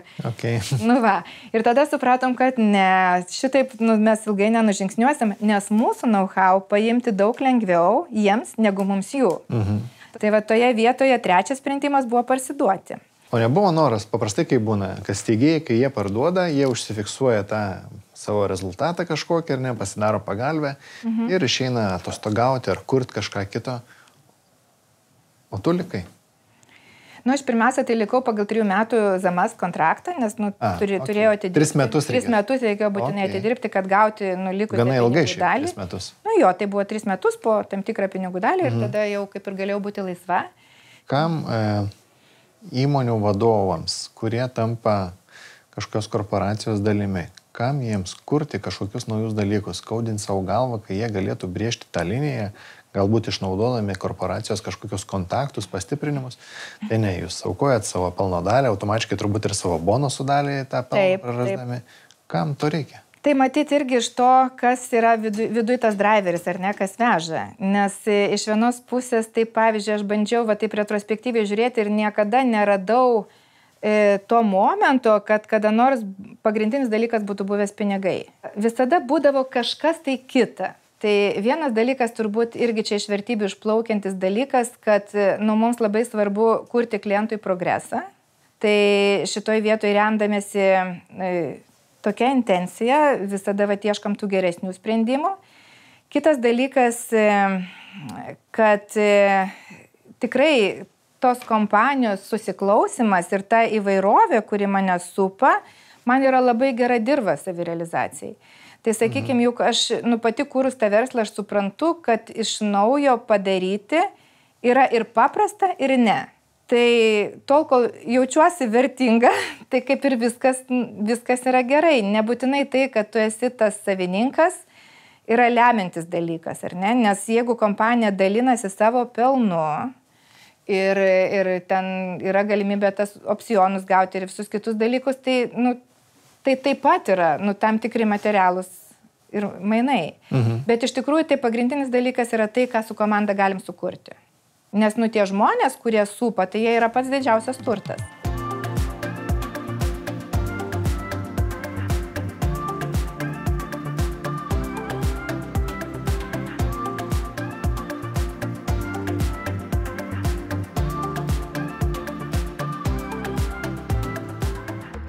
Mindaugai, šiaip mūgas yra listinguojama kompanija, ar ne? Taip. Ir jūs, kaip Lietuvos padalinys, irgi esate reguliuojami, prižiūri jūs, ar ne, kažkaip? Jo, tai nu, vis tiek mūgas yra, kadangi listinguojamas, listinguojamas New Yorko biržoje, tai mes nu, turim atitikti visus, visus biržos reikalavimus. Aišku, mes patys nebendraujam nei su New Yorko birža, tačiau mes teikiam visą informaciją, turim laikytis visų terminų labai griežtai kadangi mūgas po to konsoliduoja visą informaciją ir skelbia viešai, daro pranešimus ir taip toliau ir panašiai. Mhm. Tai jo, tai mes esame mūgo puslapyje, jeigu pa, pa, paieškot, pabrausinti tenais, tai matytųsi mūsų ir prekį ženklas, ir, ir, ir, ir prietaisų nuotraukos ir taip toliau. Pagal pelningumą, kurioje vietoje jūs mūgų grupėje esate? Mūsų sektorius, medicinos e, sektorius yra vienas pelningiausių mūgiam.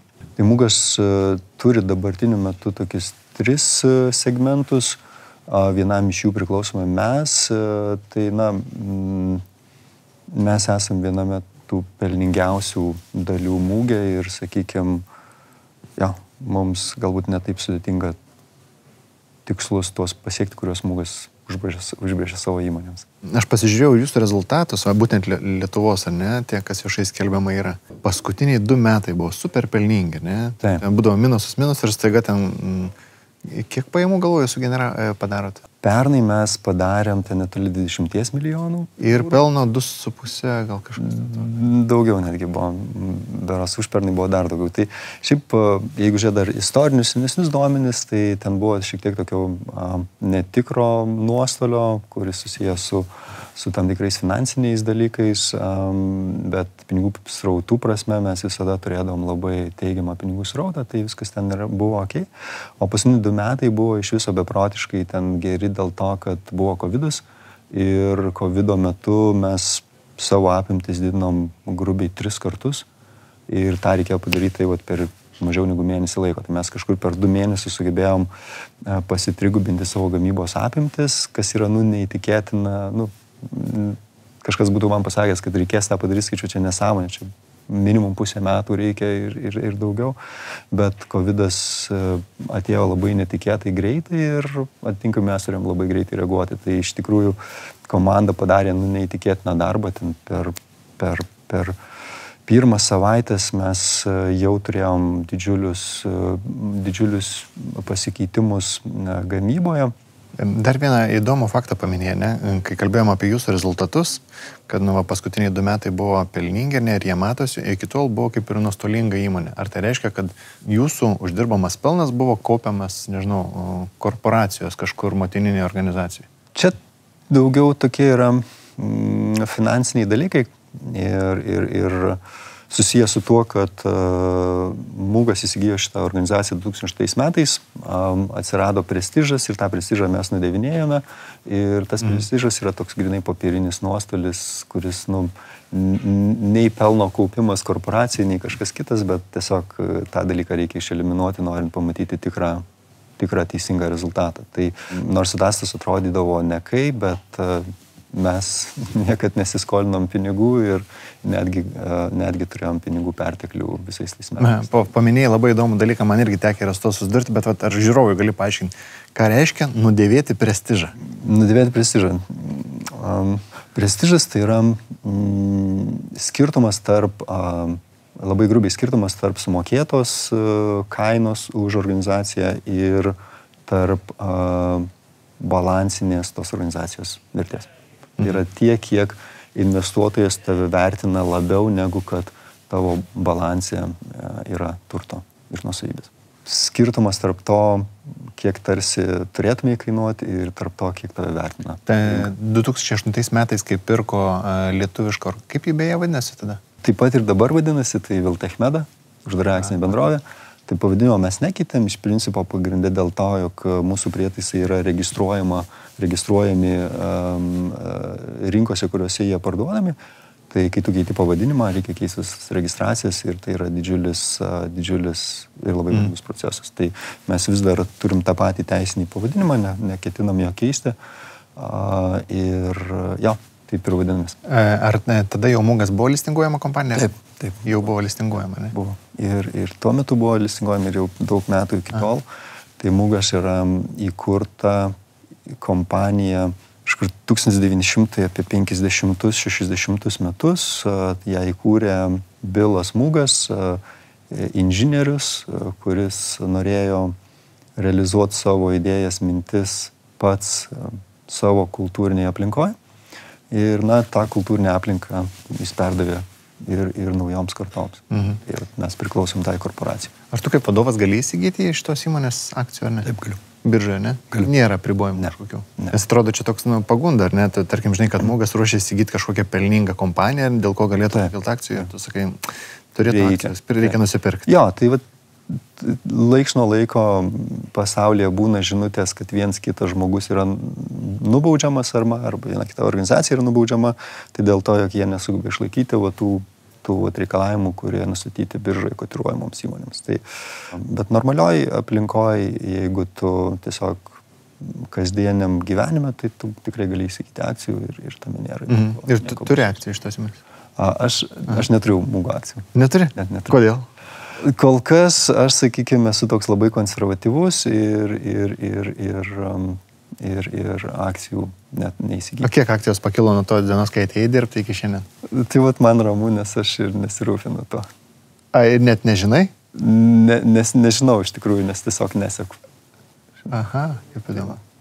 Ok, gerai, kitas klausimas. Tai jūs kaip vienas iš e, rinkos lyderių, ar mm, yra tokių atvejų, kad jūs gaminat ne tik tai savo prekės ženklo gamintojo, bet ir, nežinau, konkurentų, pavadinkim? Jo, taip, mes iš tikrųjų turim uh, savo portfelį ir, kom, ir kompanijas, uh, kurioms gaminam medicinos prietaisus.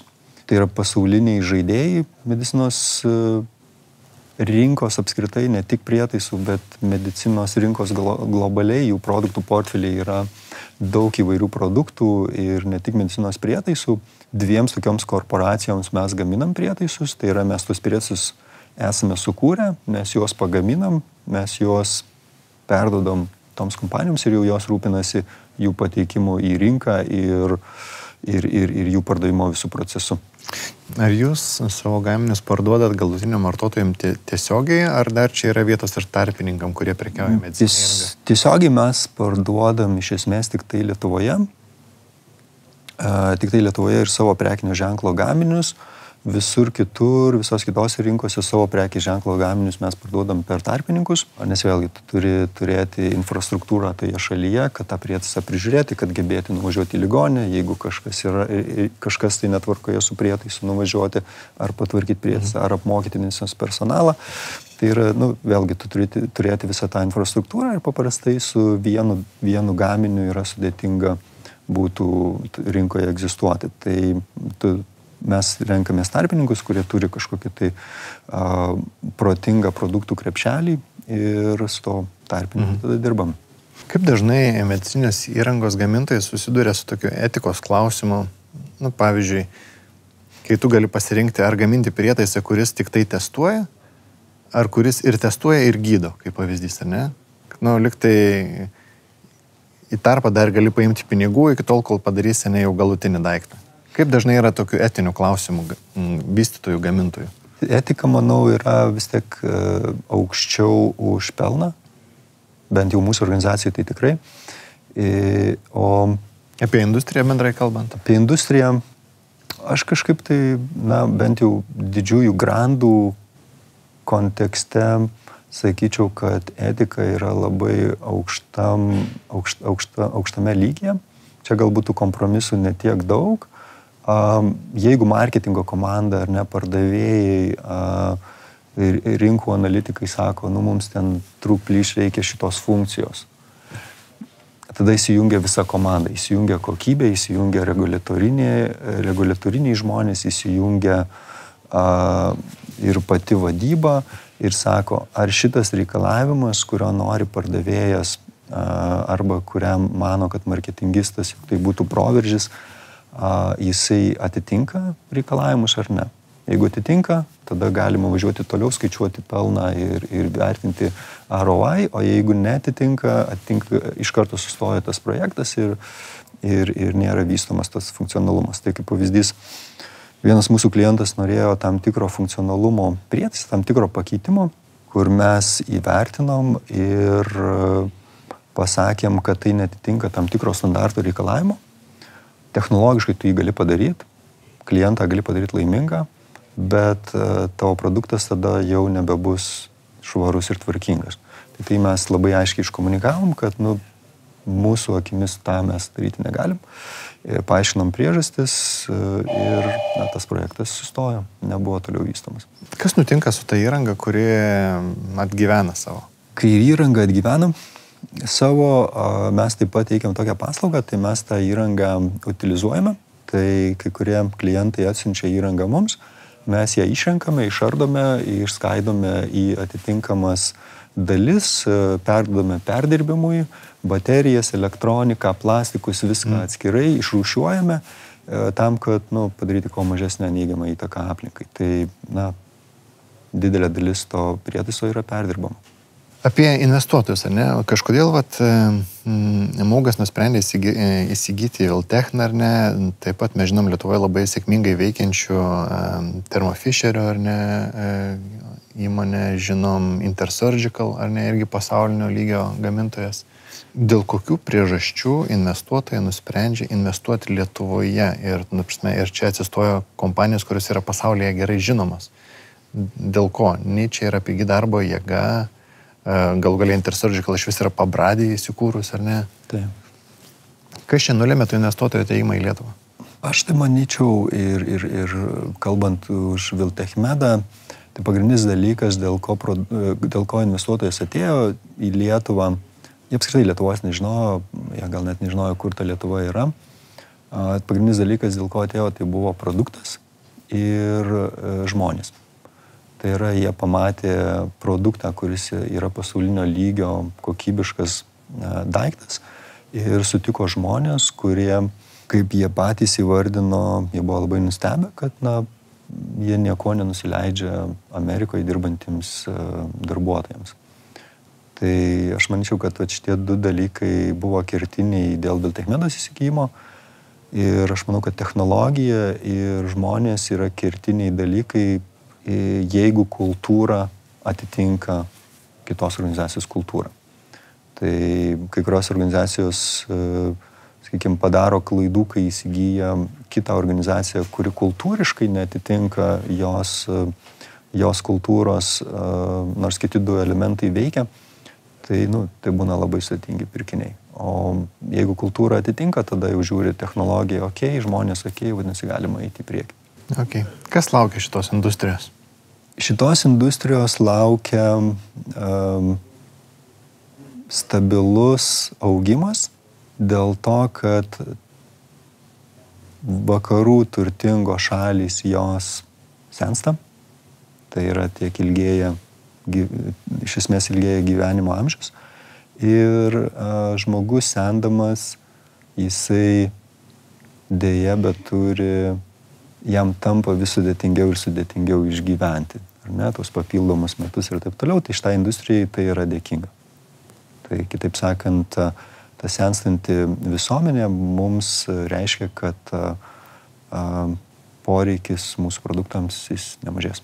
Žodžiu, žmogaus garantinį laikotarpį galima prateisti, bet tam reikės industrijos, kuri taip, palaikytų taip, taip. Tikrai taip. Kitaip sakant, vis tiek reikės palaikymo, reikės, reikės žmonėms uh, gebėti išgyventi tuos papildomus metus. Ir kitas dalykas, aišku, kad mes tiek prailgintume gyvenimo laikotarpį, tai ir iki tol reikia tinkamos priežiūros, galbūt šiek tiek tobulesnių gydimo praktikų, ten vėlgi.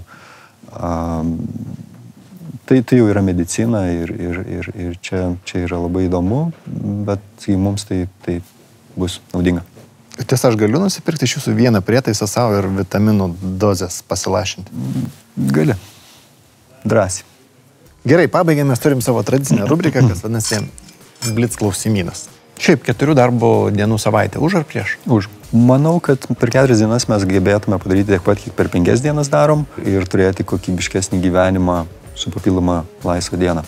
Jeigu galėtum savo verslę pasilikti tik tai vieną verslo šaką, kurią pasiliktum ir kodėl? Tada ne vienos turbūt.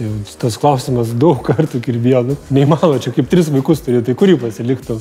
Koks veiksmas arba užsiemimas tave labiausiai augino per paskutinius dešimt metų? Nu, Mokymai ir e, savęs atradimas. O kokie mokymai? Mano atradimas iš visko pati, ką aš nu, tikrai labai stipriai daug patyriau, tai pas Rasą Baltę Balčiūnenę HAI, vadinasi tas institutas, tai jeigu iš naujo pradėčiau gyventi, tai jau kai būčiau rėdė šitam, tai pradėčiau nuo to, o po to visi kiti mokslai ant viršaus, tai tada tu žinai, ką su jais visais daryti. Koks prietaisas labiausiai palengvina tavo gyvenimą? Prietaisas, kurį aš, sakykime, taip mėgstu ir kuris man teikia džiaugsmą, tai automobilis. Kokio yra automobilį? Jaguar. Ko dabar labiausiai norėtum išmokti? Gal kokį medį drošt, molį minkit, kažką tai tokio turbūt, kad... Aš prieš kelias metus įsamoninau, kad mes savo geriausią laiką, nu, mat, aštuonias ar kiek ten tų valandų praleidžiam darbę, kai tu esi išpailsėjęs, išmiegojęs, kai yra diena, ne, tu išeini į darbą, kai galėtum, nežinau, keliauti, atostogauti, būti su šeima, dar kažką. Bet tu savo geriausias gyvenimo valandas atiduodi į darbą. Ar neliūdna? Nu tai čia irgi viskas nuo to, kaip mes matytą savo savirealizaciją matom. Kur, pavyzdžiui, man tai niekada nei, nei liūdna, nei gaila. Man čia yra įdomu ir kai grįžtu į namus, kartais degančiam akim, kartais pavargusiam akim, bet aš vis tiek žinau, ką aš sukūriau, kokį rezultatą turiu. Jeigu privalomai reikėtų pasirinkti, kuris Lietuvos universitetas būtų pirmas eilėje, kalbant apie tai, kurį reikia uždaryti. Aš manau, kad mums Lietuvoje užtektų galbūt tokių dviejų, maks trijų universitetų. Palikčiau Vilniaus universitetą, palikčiau Kauno technologijos universitetą ir palikčiau, ko gero, VGTU universitetą.